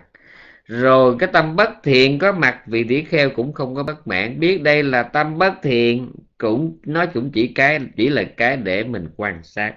Nói vậy có nghĩa là tâm thiện cũng là cảnh đề mục. Tâm cũng là cảnh đề mục. Hồi nãy tôi, ngày xưa mình không có biết đạo, mình cứ tưởng mình phải đi tìm cơ hội làm phước tìm cơ hội tu tạo công đức như hôm nay mình biết đạo rồi, thì mình thấy, ồ, thì ra, đi cầu bằng chánh niệm cũng là công đức hít ra thở vào bằng chánh niệm cũng là công đức. Biết cái tâm sân nó vừa có mặt cũng là công đức, biết tâm tham vừa có mặt cũng là công đức. Nhìn cái đống phân bằng chánh niệm cũng là công đức, mà nhìn cái hoa nó đang nở đại đóa hay là hàm tiếu bằng chánh niệm thì cũng là công đức. Cái đặc biệt của tứ niệm xứ là cái giống giải gì miễn là chúng ta luôn luôn sống bằng niệm và tuệ đây nhớ nha ừ, nhớ chỗ này cho nên ở đây đó là toàn bộ phiền não gồm còn có ba một là dục tư duy đam mê thích thú khoái chí cái gì đó ừ.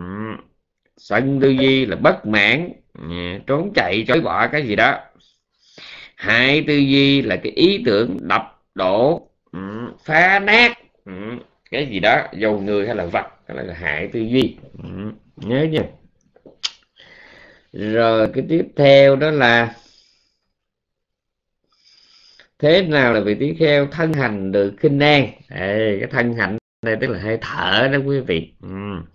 thân hành đây như là hơi thở nghĩa là sao có nghĩa là đó ở đây cái tâm hành á nó là thọ tưởng ha mà khẩu hành nó là tầm tứ nhưng mà cái thanh hành nó là hơi thở ra vô. Trong kinh nói rằng đó là khi mà mình đã, là đã, đã an trú vào cái tầng tứ thiền sắc giới thì có những thứ sau đây nó phải biến mất. Tầm tứ hỷ lạc là biến mất là đã đành rồi. Nó chỉ còn định và xả đã đành rồi. Nhưng mà nó có một cái điều đặc biệt nữa ở đây đó, đó là khi mà trong các cái chi thiền cái, cái tầm tứ hỷ lạc cái lạc mà nó mất. Nó đặc biệt cho nên khi mà cái chi lạc nó mất thì khổ cũng biến mất. Nó đặc biệt cái chỗ đó. Tại sao chúng tôi cứ nhấn mạnh chỗ này? Là khi mà một cái người mà họ có được cái tâm thiền tâm tứ thiền ấy thì họ không còn cái cảm giác mà dễ chịu hay khó chịu nữa. Và cũng lúc đó không còn hơi thở ra vào. Đây là lý do vì đâu mà những bậc đại thánh đại là gì? Đại thánh là những vị a la hán mà gọi là có, gọi là chỉ quán kim ưu, có nghĩa là điều xuất sắc trong chỉ và quán. Thì điều niết bàn theo cái kiểu rất là đẹp, rất là ngoạn mục ờ, đó là niết bàn là nhập vào tứ thiền rồi sức tứ thiền đi luôn. Vì sao? Là vì khi vị đó vào tứ thiền rồi, hơi thả mắt thì mượn cái mắt của tứ thiền đó đó, cho nên khi mà tâm tứ thiền đó, các vị vừa xuất ra khỏi tứ thiền các vị đi luôn. Cái cái cái hơi thở của cái tam thiền nó đã vi tế rồi, mà tới lúc tứ thiền nó mất hẳn. Thì người ngoài nhìn vào không hề biết rằng đương sự vừa niết bàn là vì sao, là vì ta hơi thở đã mất lúc bị nó trú vào tứ thiền rồi. Cho nên xuất tứ thiền hơi thở mượn cớ đi luôn. Cho nên cái đó là là chúng tôi gọi là cái chết ngoạn mục, là vì người thông thường là cái chết nó phải hước chúng ta phải ngóp ngóp vài cái lấy hơi. Nhà, giả biệt cái cuộc đời này ngóp ngóp vài cái, rồi như là cá mắc cạn vậy đó, rồi mới đi. Dầu là một cái chết nhẹ nhàng cách mấy thì chúng ta cũng phải bị ngạt thở trong một ít second, ít giây rồi chúng ta mới đi được nha. Nhưng mà riêng đối với cái vị mà coi như an trú trong tứ thiền sắc giới thì không nha. Lúc đó không còn đạt có nghĩ đó không hề có cảm giác dễ chịu, khó chịu trong thân nữa, có như là không cho nên vị đó có đau mà ung thư ốc, ung thư ruột non, ung thư bao tử mà kỳ cuối thì vị đó cũng không hề biết đau đớn là gì hết, bởi vì không còn khổ lạc, không còn khổ thân, khổ tâm. Mà đồng thời hơi thở cũng không còn nữa nha. Sẵn ở đây tôi cho tôi lạc đèn một chút nha. Đó là các vị nên chuẩn bị từ bây giờ nên đặc biệt tu tập để một hơi thở. Các vị cũng thích niệm xứ nào, trong bốn niệm xứ thì tùy nha nhưng mà nên dành cái thời giờ tu hơi thở là vì nhiều lý do lắm. Là bởi vì trong giây phút cận tử của cái người mà tu hơi thở đó thì nó nó nó tốt hơn đề mục khác. Thánh thì tôi không dám đụng tới bởi nó thánh thì nói thôi nó mỗi cái miệng nha. Mình nói phàm mình ấy khi mà mình tu hơi thở mà nó lâu rồi đó thì khi mà, mà trong chú giải nói đó là mình có thể đoán trước được là mình sẽ đi vào lúc nào. Tùy người có người họ biết chính xác còn có người họ biết không chính xác lắm họ có thể biết chung chung khoảng cái tầm chiều nay. Bởi vì họ, họ đã sớm nhận ra là hơi thở của họ sáng nay nó không giống như là mấy mươi năm qua nha. Họ nhận ra được đó. Và đồng thời cái người mà sẽ hơi thở đó họ giảm được rất là nhiều cái đau đớn là bởi vì họ chuyên chú vào cái đề mục hơi thở đó. Nó bất được rất không có đề mục nào mà nó gần gũi. Nó nó nó không có đề mục nào mà nó nó là cái nhịp cầu mà kết dính giữa thân và tâm mà nó sắc sảo, nó tinh tế, nó mật thiết, nó kháng khích giữa danh và sắc cho bằng cái ông hơi thở hết nha cho nên bây giờ, ngay bây giờ là phải về tu hơi thở liền. Bây giờ các vị có dễ vui bằng trời đi nữa nha, thì cũng phải ráng là hơi thở. Và sẵn tôi nói chuyện đầu lao đi này là trong kinh dạy mình tu hơi thở để mà chi để mà đắc thiền để mà hơi thở đắc, đắc thiền để có mình có tự định mới có tuệ. Trên kinh không có nói chuyện khác. Nhưng mà đây là kinh nghiệm nếu mà con tin thì tôi tặng cho bà con cái. Đó là khi mình niệm hơi thở lâu ngày mà định nó mạnh đó, mình có thể dùng cái tâm định đó mình chuyển oxygen. Oxygen đó là cái cái luồng cái hơi đó nhưng mà lúc tôi không gọi oxygen mà tôi gọi là cái cái thân nhiệt ấy. mình chuyển cái thân nhiệt tới cái chỗ đó. Đau là gì? Đau là chỗ đó nó thiếu oxy và nó, nó máu nó không có thông. Bây giờ mình chuyển mình mình mình tập tập chú mình chuyển mình cứ tại giả định như mình đang chuyển cái hơi thở của mình tới cái chỗ đau đó. Buổi đầu làm không được. Nhưng mà lâu ngày sẽ làm được. Tôi biết bữa nay rất nhiều người hoặc là hôm sau này những người nghe bài giảng cái này hỏi ông này ông tà nhưng mà cái vị nói cái vị muốn nói sao tôi cũng chịu trách nhiệm hết nha tôi vẫn xác nhận thiền hơi thở là để tu định, tu tuệ. Nhưng mà cái, tức là cái phần dư ra đó thì mình nên dùng nó để chữa bệnh rất hay. Có nghĩa là khi mà có cái niệm mạnh rồi đó, mình mới chuyển, mình tự mà buổi đầu mình dùng như tự kỷ ấm thị vậy. Mình chuyển cái hơi thở ngay cái chỗ đau đó. Cái phó sản, yes, cái phó sản biết trong rung. Thì tôi nói mặt sát quý vị có thể muốn làm hay không, có thể nói tu tà kiến cũng được. Nhưng mà tôi khuyên là nên dùng nó như cái phó sản có nghĩa là cái phần mà dư thêm á. Ừ. có nghĩa là đau quá thì mình mới chuyển mình dùng cái tâm định đó mình chuyển cái hơi nó mình mình, mình cứ nghĩ thôi. Đó đó, đó, đó. vì nó đang tới nó đang tới cái chỗ đau đó nè đó. Một ngày hai ngày khoảng có vị tập cho tôi một tháng sáu tháng một năm ba năm. Thì đây cũng là cái cách vừa tu thiền mà vừa gọi là dưỡng thân nha. Tu tâm mà dưỡng thân. Đó là tu tâm mà dưỡng thân tôi viết xuống tu tâm và dưỡng thân là cái chiêu này. Độc đáo vô cùng nha. Rồi. Cho nên thân hành khinh an là gì? Là khi mà tu tập tới cái, cái đề mục tôi hơi thở mình đến cái tầng tứ thiền đó thì thân tâm không còn đau đớn và cũng biến mất luôn. Cho nên mới gọi là không lạc không khổ xả niệm thanh tịnh là như vậy đó. Uhm. rồi thế nào là vị tỳ kheo sống có tâm giải thoát thì không tham không sân không si được gọi là giải thoát. À, thì các vị thấy rồi. Cái này biết rồi nhưng cũng phải nói một chút. Không tham là không có đeo đuổi không có đam mê không có hứng thú. À, còn không sân là không có bất mãn ghét sợ chối bỏ trốn chạy. À, còn không si có nghĩa là biết rõ cái gì nó đang diễn ra và nó đang ra sao. What is và how is. Nha biết rõ cái mà nó đang có mặt đây nè phân tích trong bốn đế nó là khổ hay nó là tập hay nó là đạo đạo đế. Rồi phân tích thêm 12 duyên khởi đó. À, thì cái này nè nó là nhân hay nó là quả nó là nhân lưng hồi hay là quả lưng hồi hay nó là phiền não lưng hồi. À, thí dụ như bây giờ nó là vô minh á à, cái hành đó, nó là nhân lưng hồi nè. À, rồi cái hành duyên thức thức duyên danh sắc đó là quả lưng hồi nè danh sách viên lục nhập nó cũng quả lưng hồi lục nhập viên do xúc cũng là ờ, rồi cái bắt đầu xúc á. Xúc xúc viên cho thọ nha. Thì cái xúc này nè nó có thể vừa là quả mà cũng có thể vừa là nhắc à, nó có vừa là quả xúc điện ác hoặc là xúc ở trong, trong tâm quả. Coi như coi như đó là từ cái vô minh trên lão tử thì nó chỉ có nhân và quả thôi. Tôi nhắc lại nhân ở đây là hoặc thiện hoặc ác. Còn quả ở đây tức nghĩa là cái quả thiện hoặc quả ác thì hành giả biết rõ ừ, biết rõ cái này nè nó là thiện hay bất thiện biết rõ cái này là nhân luân hồi hay là quả luân hồi nha. Thì nó gọi là vô si. Biết rõ mọi thứ do duyên mà có có rồi phải mất đó là vô si. Còn biết rõ ừ, cái trên không có gì đáng để thương tham thích hết.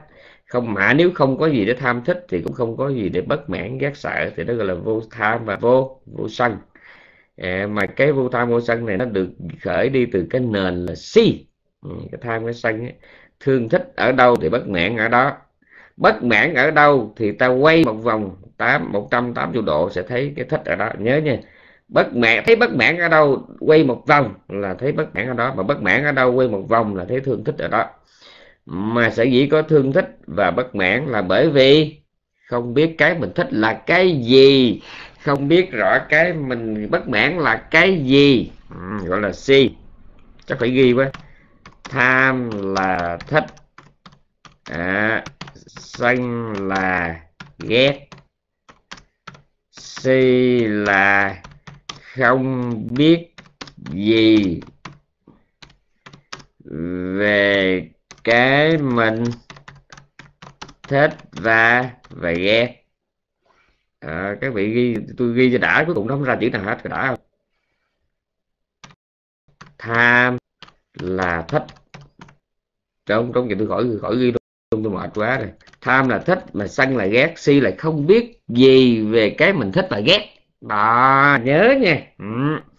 mà tỷ kheo mà không có ba cái ông nội này được gọi là tâm được gọi là tỷ kheo bằng tâm tâm giải thoát.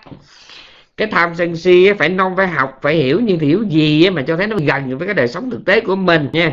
Chứ còn nói cao siêu quá, nói cao siêu quá nha. Đây rồi tiếp theo thế là vị tỷ kheo. À, tuệ thiện giải thoát.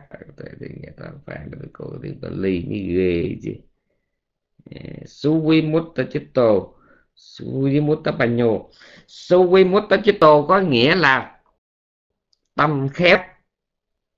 Uhm. còn cái kia là tuệ giải thoát. Cái kia là tâm giải thoát tuệ giải thoát. Là sao ta? Tâm giải thoát là tâm lìa phiền não.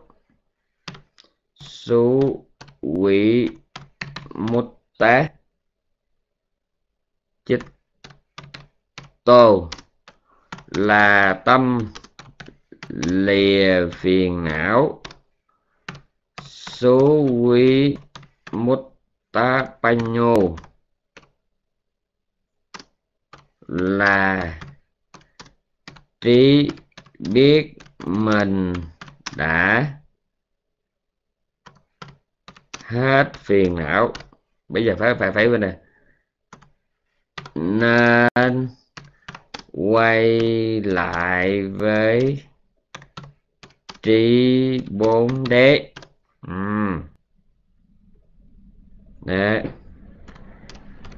Biết rõ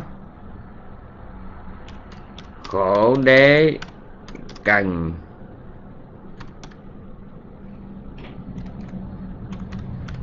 nhận thức.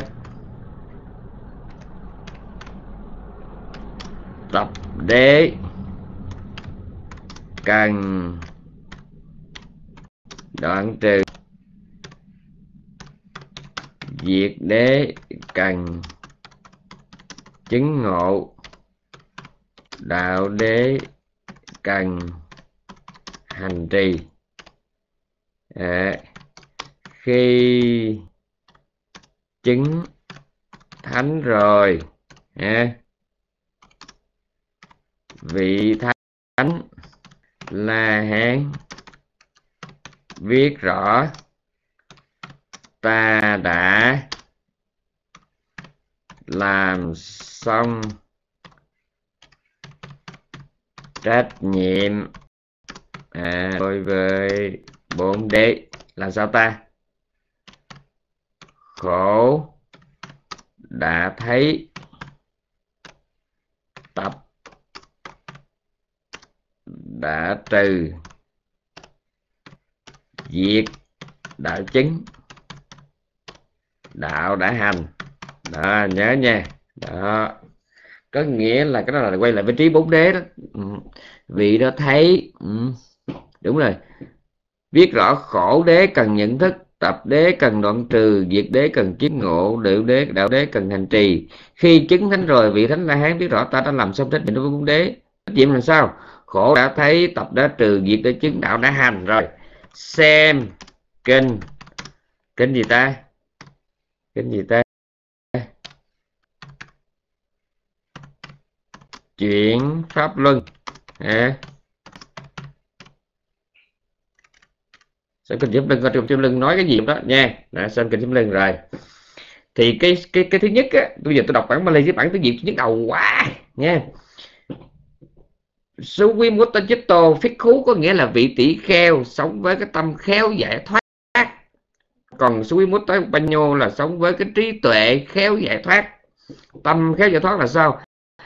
Tâm khéo giải tâm đã lìa xa ba phiền não còn tuệ giải thoát là tôi biết rõ mình đã lìa xa phiền não biết rõ mình đã không còn. Không còn sanh tử nữa. Và ở đây đó chúng ta phải biết có hai loại trí gọi là trí khá dê nhà năng. Tức là trí à, đoạn trừ phiền não.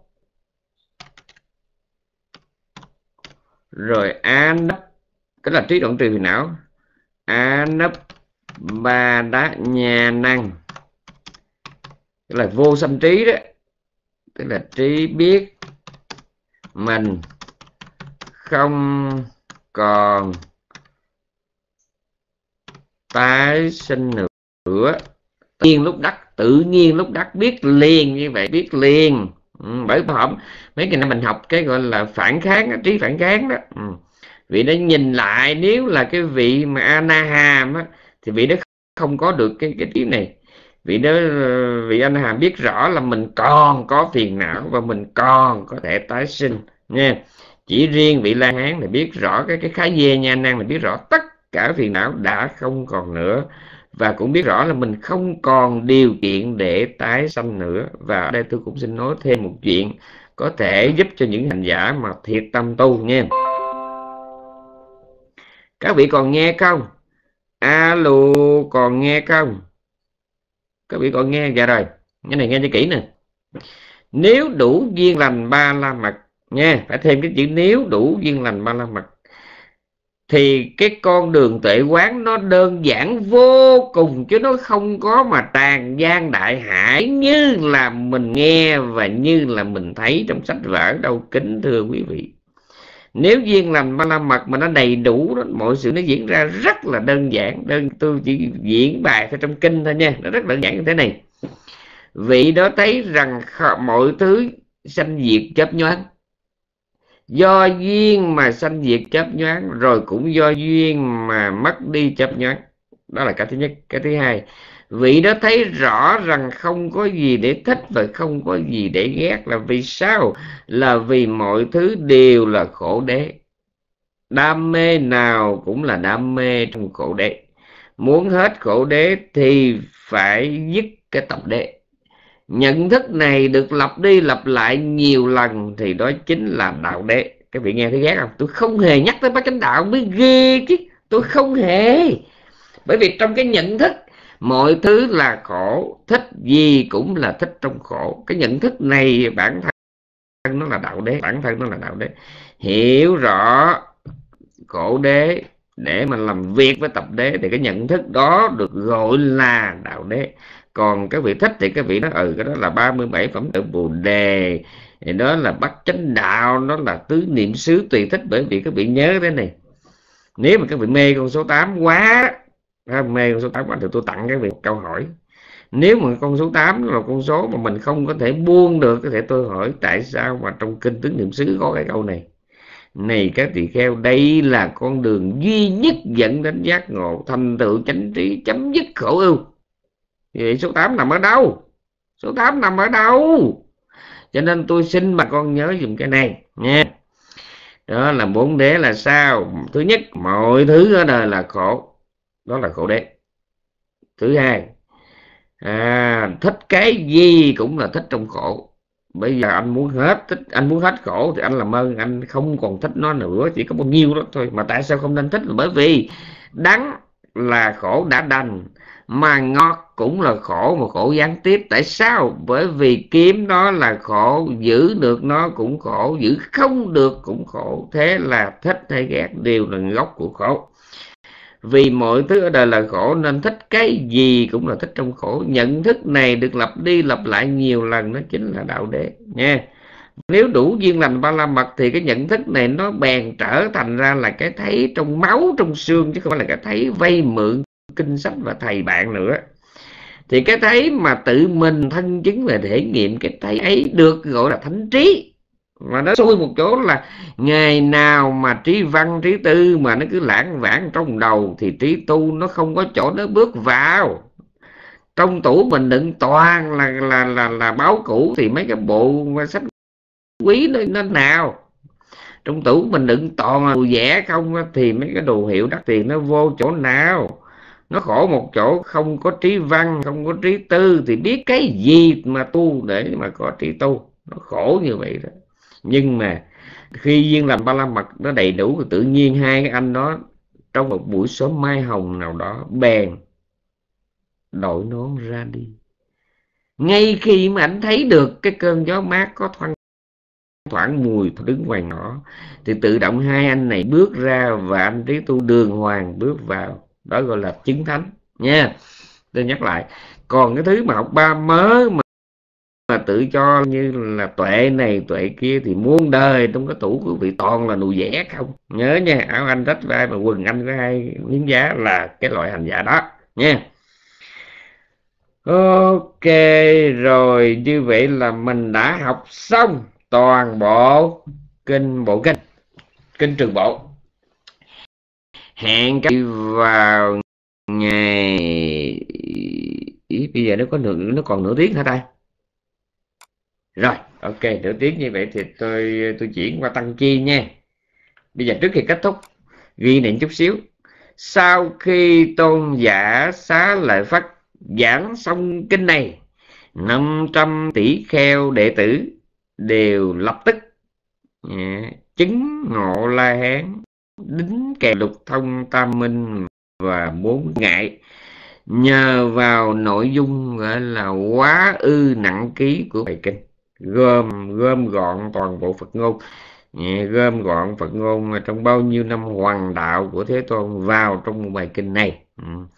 Cho nên khi tôn giả kết thúc kinh này thì cả 500 đệ tử thính giả đều lập tức chứng ngộ lục thông tam minh và bốn trí vô ngại đây cái bài kinh này nó có cái nội dung kinh hoàng như vậy. Đấy.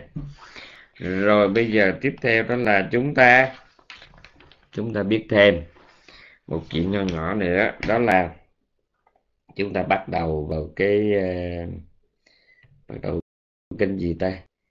Kinh uh, kinh uh, kinh uh, kinh uh, tăng chi.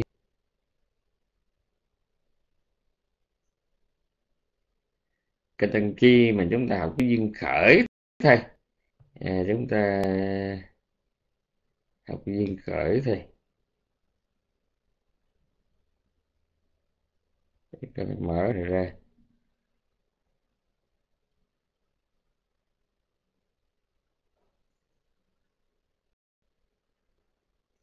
Hmm.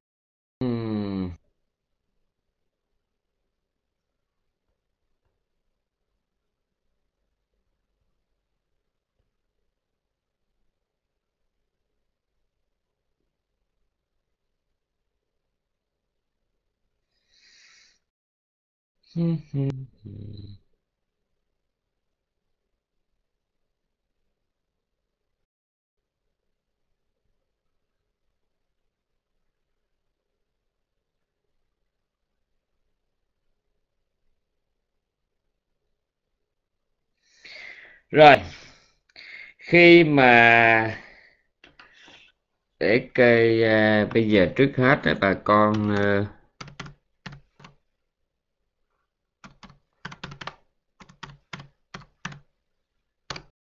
cái phần gì chúng tôi dựa vào ở trong ờ, một cái quyển gọi là hậu sớ của đời sau nha ở trong đây đó thì ờ, là cho chúng ta biết một số chuyện tức là sau khi thế tôn à, viên tịch à, thì ba tháng thì ngài ca diếp á, ngài mới có một cái cuộc tổ chức ngài mới tổ chức một cái cuộc kiết tập tam tạng để mà xác định là cái diền mối của giáo pháp. Có nghĩa là kể từ bây giờ chúng ta học là học cái gì và chúng ta hành là hành cái gì và lưu truyền hoàng hóa cái gì. Dạ, chứ còn không thể nào ai cũng cạo đầu đắp y rồi nói là đây là Phật Phật Phật Phật Phật, Phật, Phật giáo thì quá kẹt nha. Kể từ bây giờ sau khi tập rồi thì chúng ta sẽ biết rõ mình hành trì cái gì dạy nhau cái gì hoàng hóa cái gì và lưu truyền cái gì. Đó thế là ngài mới triệu tập lại 500 vị la hán để chúng tôi tắt thôi 500 vị la hán. Thì trong đó có hai vị là ngài Upali nghe là cái ông ông thợ cạo của cái dòng thích ca ngày xưa ngày xưa. Khi, khi mà Ada ông đề bà đặt đa ngày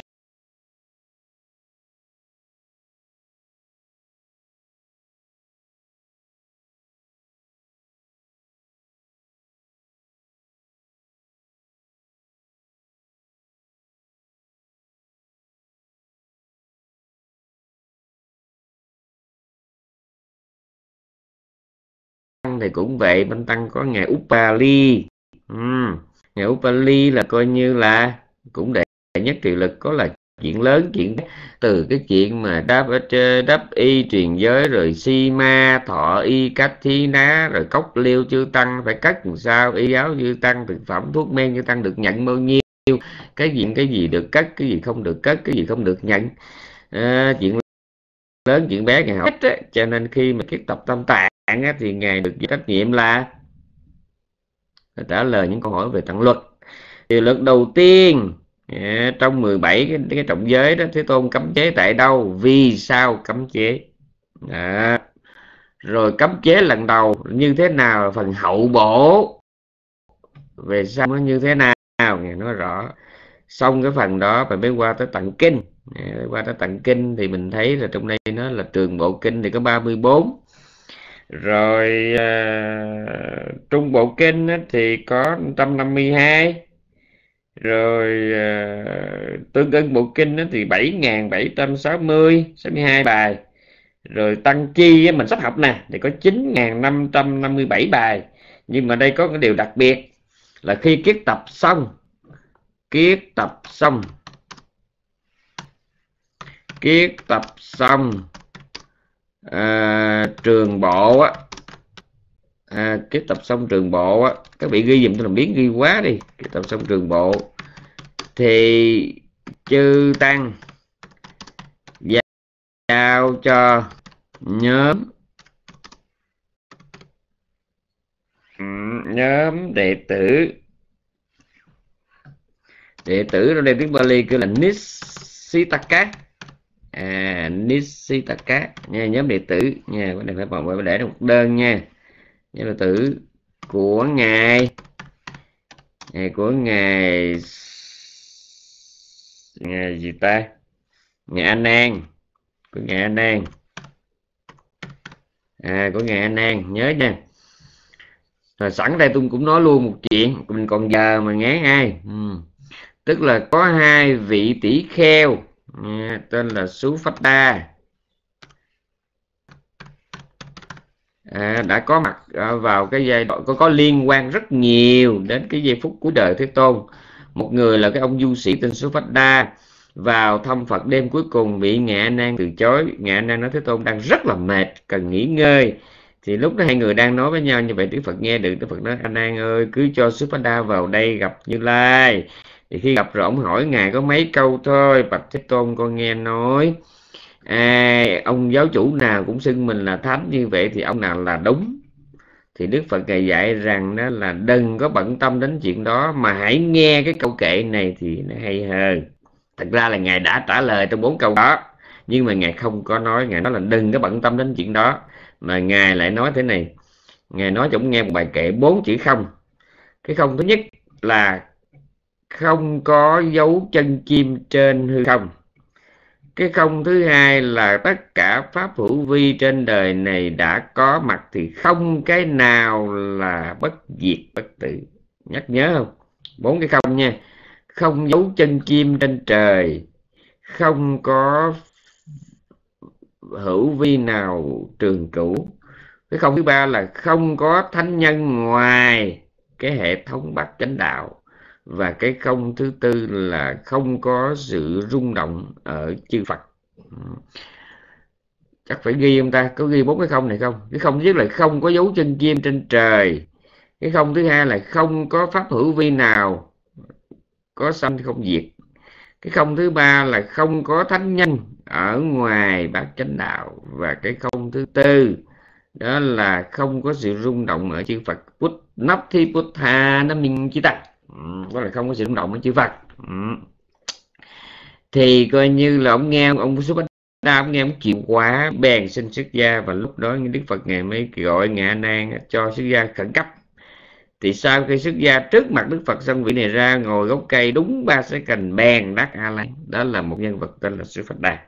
À, gắn liền với đức phật trong những giây phút cuối cùng nhân vật thứ hai cũng tên Supada là một vị tỳ kheo già đi chung với ngài maha Kajip đầu đà. Đó.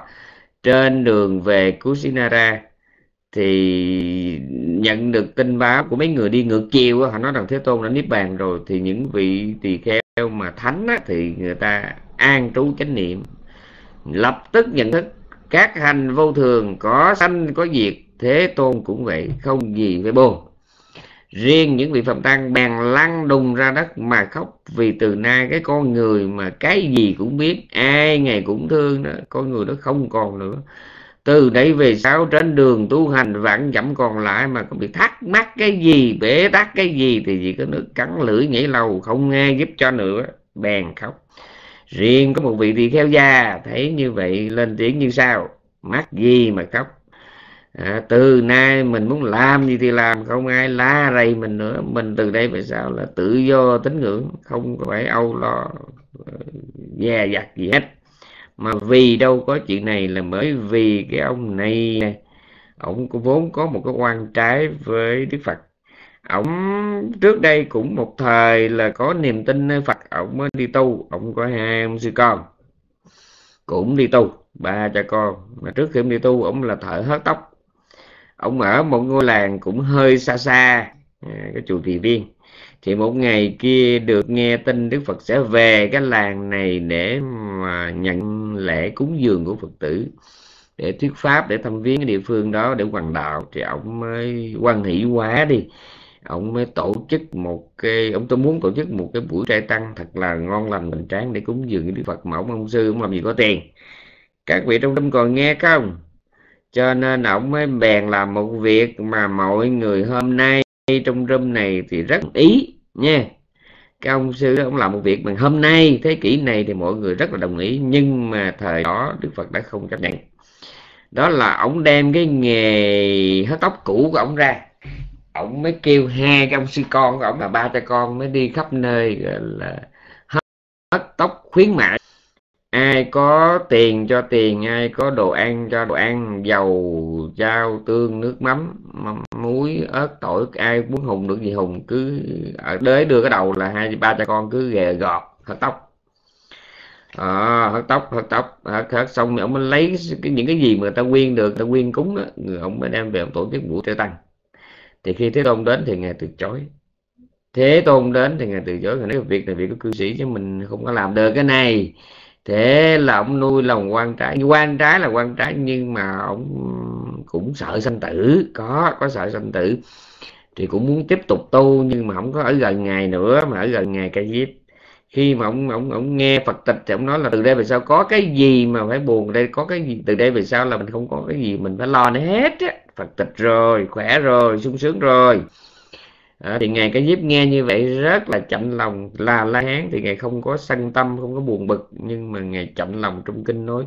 Lúc đó tôn giả có cảm giác giống như là bị ai tấn công vậy đó. Nghe cái đó trong kinh mà sân vì gắt nghe cái đó phải tâm sân mà trong kinh gọi nó là thâm sân vì gắt thâm sang vì gắt à, là cái nỗi xúc cảm. À, từ cái niềm à, tin chánh pháp. Nhớ nha à, chánh pháp. Ừ. thì có cảm giác giống như ai nó bấm vào ngực cái ngày đó cái đó. Ừ. hoặc là cảm giác mình giống như thấy người ta đọc tượng Phật vậy đó. Đấy. Thì ngày về nghe mới tổ chức kỳ cái tập thì trong cái kỳ kiếp tập đó thấy rằng chư tăng lúc bấy giờ tại Ấn Độ có 700 ngàn vị tỷ kheo mà làm sao mời hết. Được thứ nhất mời về thêm rối thôi cho nên ngài quyết định ngài chỉ mời là 500 vị tinh hoa của tinh hoa nha tinh hoa mà của tinh thí dụ như trong đó có những vị mà gọi là cụ trào cây đa tân trào. Thí dụ như ngài Anuruddha sống 150 tuổi lúc đó còn trẻ lắm. À, ngài Bakula 160 tuổi thì mời vì ngài tránh xa ngài không có tham dự nhé còn ngày Anh Nan rồi ngày lúc có 80 ngày Ca giúp lúc cũng tầm tầm tám chín mươi. Ừ rồi Anuruddha, Kajip, Anan, Maha, Cách, ngày Cốt Thiết Tá vân vân toàn là những vị mà thượng thừa đó. Tinh hoa của tinh hoa thành phần chắc lọc đó. Ngày gom thỉnh được ngày triệu tập được 500 vị trong số 700 ngàn tỷ kheo đang có mặt tại Ấn Độ lúc đó. Và ngày quyết định thế này để tránh rắc rối trong cái chuyện mà khắc thực thì xin vua chặn dùm trong suốt thời gian 3 tháng kết tập đó, thì nguyên cái khu vực chung quanh dùng kết tập đó là để cho dành cho 500 vị kết tập sư thoải mái khất thực. Chứ nếu chưa tăng mà tràn về thì thức ăn sẽ bị thiếu như vậy thì cũng khổ cho mấy vị vị kết tập. Vua A sẽ thể nhận giúp đỡ cái chuyện đó vua xây dựng 18 trú xá để cho chư tăng có chỗ ở trong thời gian kết tập xong rồi bắt đầu kết tập thì lúc đó ngài anh an còn là tu đầu quần, ngài phải nỗ lực suốt đêm để chứng đắc a la hán khi chứng đắc rồi thì ngài thì lúc bây giờ đang 499 vị đang ngồi trong hang động thì ngài anh nói, ngài ngày diếp thì không chỗ trống nữa thì sao? Thì lúc đó ngài anh an, ngài mới xuất hiện ngay cái chỗ trống đó. Có nhiều chỗ kể khác nhau nhưng mà ở đây tôi kể theo Satama Sangha nha. Thì ngài có mặt ở đó và chư tăng mới hỏi nhau kiết tập phần nào trước? Kinh luật lượng kiết tập phần nào trước? Chư tăng nói tạng luật là tánh nạn của chánh pháp kiết tập luật chất thì chư tăng mới đề cử rằng tôn giả Upali là vị được thế tôn ờ, là xác định là đệ nhất về trị luật tối thắng về trị luật Vinayatharu cho nên là cái thỉnh ngài Upali trả lời mấy câu hỏi tặng lực xong rồi mới giao cái phần trả lời mấy câu hỏi tặng kinh ý, cho ngài ngài nan lúc bấy giờ toàn bộ A Tỳ Đàm được kể vào vào ở trong tiểu bộ kinh nha nhớ nha, lúc đó toàn bộ Atidam được kể vào trong tiểu bộ kinh. Thì lúc đó nó là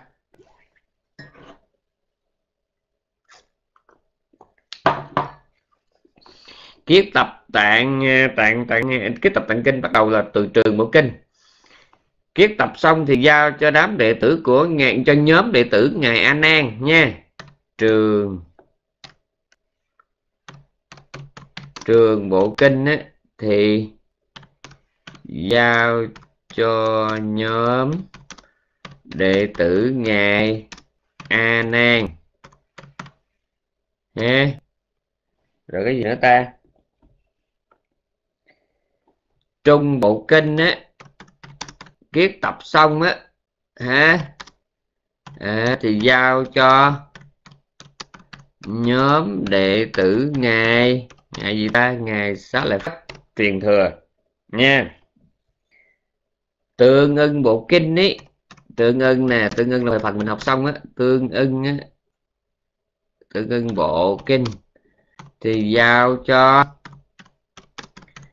nhóm đệ tử ngài. Ngài gì ta? Ngài Maha Kassapa tức là đầu đà ca diếp yeah, à, Maha Maha nhớ nha. Ừ, Maha truyền thừa. Rồi cái tăng chi bộ kinh á thì giao cho tăng chi thì giao cho nhóm đệ tử ngài Anuruddha đệ nhất thiên nhãn nha. Đệ nhất thiên nhãn. Các vị có ghi có, có thấy không? À, trường bộ kinh thì giao cho nhóm đệ tử ngài a nan. Trung bộ kinh thì giao cho nhóm đệ tử ngài Sa lợi phất. Tương ưng bộ kinh thì giao cho nhóm đệ tử ngài mahakaspa. Và tăng chi bộ kinh thì giao cho nhóm đệ tử ngài anuruddha. Giao là sao ta? Giao có nghĩa là về có nghĩa là quý vị phải chịu trách nhiệm. Có nghĩa là mai này ai cần đối chiếu cái gì mà liên hệ về trung bộ kinh á, thì phải kiếm cái nhóm đệ tử của ngài Sa lại phát ai mà có thắc mắc cái gì mà về trường bộ thì kiếm cái nhóm này tử ngài nan mà nó nhóm thật ra rất là đông. Những vị mà có mặt ở trong cái cái cái cái đại hội này nó là chính là những cái vị là lớn, tượng trưng, biểu biểu tượng của tăng già lúc đó thôi. Chứ còn bên ngoài nó bảy ngàn vị tỷ kheo thì trong đó có một số là đệ tử đích truyền từ thế tôn. Còn ngoài ra là đệ tử của các vị thánh tăng, rồi phàm tăng, rải rác. Ừ, tổng cộng là 700 ngàn, hơn nửa triệu, hơn nửa triệu tỷ kheo có mặt và tại Ấn Độ vào cái thời điểm thế tôn viên tịch kinh khủng như vậy nha thì vào ngày mai là chúng ta sẽ bắt đầu học, này, bắt đầu học về cái tăng chi bộ kinh. Có nghĩa là cái bộ mà đã được giao cho nhóm đệ tử ngài Anuruddha đệ nhất thiên nhãn, người có khả năng coi như nhìn một ngàn cái galaxy mà giống như người ta nhìn mấy trái sung trong lòng bàn tay nha. Và cũng chính nhân vật này đó là coi như là là là là, là uh, có làm hai việc đặc biệt. Ngài du lịch rồi nhưng mà có điều là có hai sự kiện quan trọng được nhắc tới ngài trường là trường hợp thứ nhất là lúc thế tôn giảng xong bộ a tỳ đàm ở trên ờ, đau lợi ngày đi trở về dân dân gian ngay cái chỗ cái thành săn cát sát thì lúc đó đó là có hai vị đại tinh văn à, là to đùng đứng ở đó để đón phật. Đó là ngài ngài gì ta? Ngài ngài một kiền liên và ngài anuruddha đang đứng ở đó.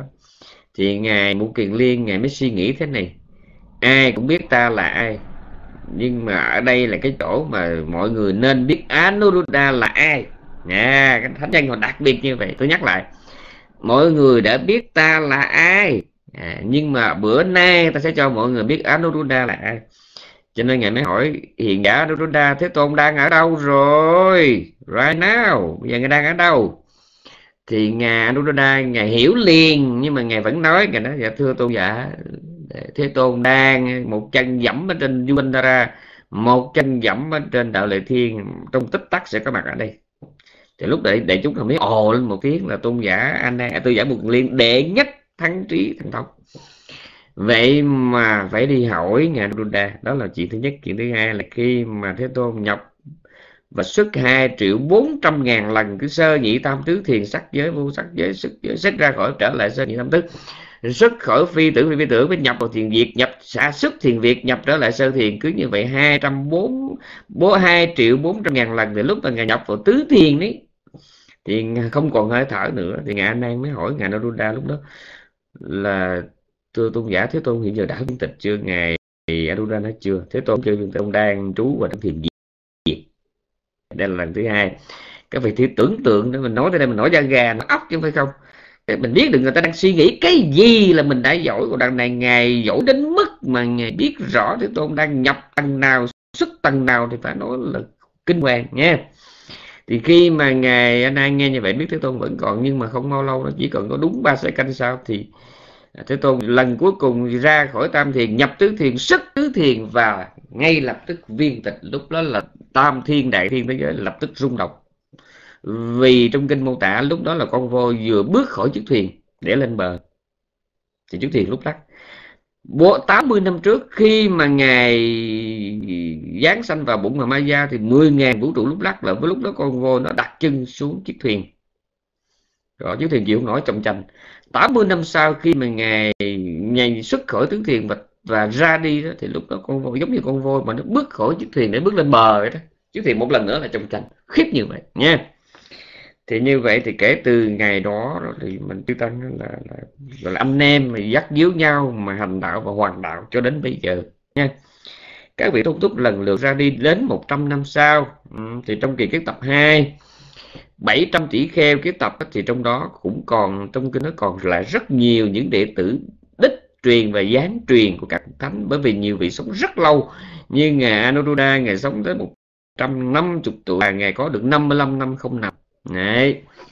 Có 55 không nằm ngày sát lại Phất một kiền liên ấy, thì sống có 84 tuổi và cũng có được 12 năm không nằm. Ừ. Không nằm đây có nghĩa là cứ ngồi suốt một thu cách mạng để thứ nhất là thói quen tinh tấn nhiều đời, thứ hai để để mà làm gương cho hậu thế nha. Đó, như vậy thì hôm nay chúng ta đã biết rồi. Nhưng mà đặc biệt tiểu bộ kinh thì trong đây không hề nói đến. À, không hề nói là giao cho ai. À, không hề chúng ta chỉ biết tới đó thôi nha à, thì như vậy thì là trong kinh nói khi mà chư tăng mà kiết tập xong tam tạng thì địa cầu rung động vì chánh pháp đã được gọi là xác định diện mối. Ok tôi vừa kết thúc ngay chốc và 4 giờ chiều. Chúc các vị một ngày vui một đêm an lành nhiều mộng đẹp. Hẹn gặp lại ngày mai.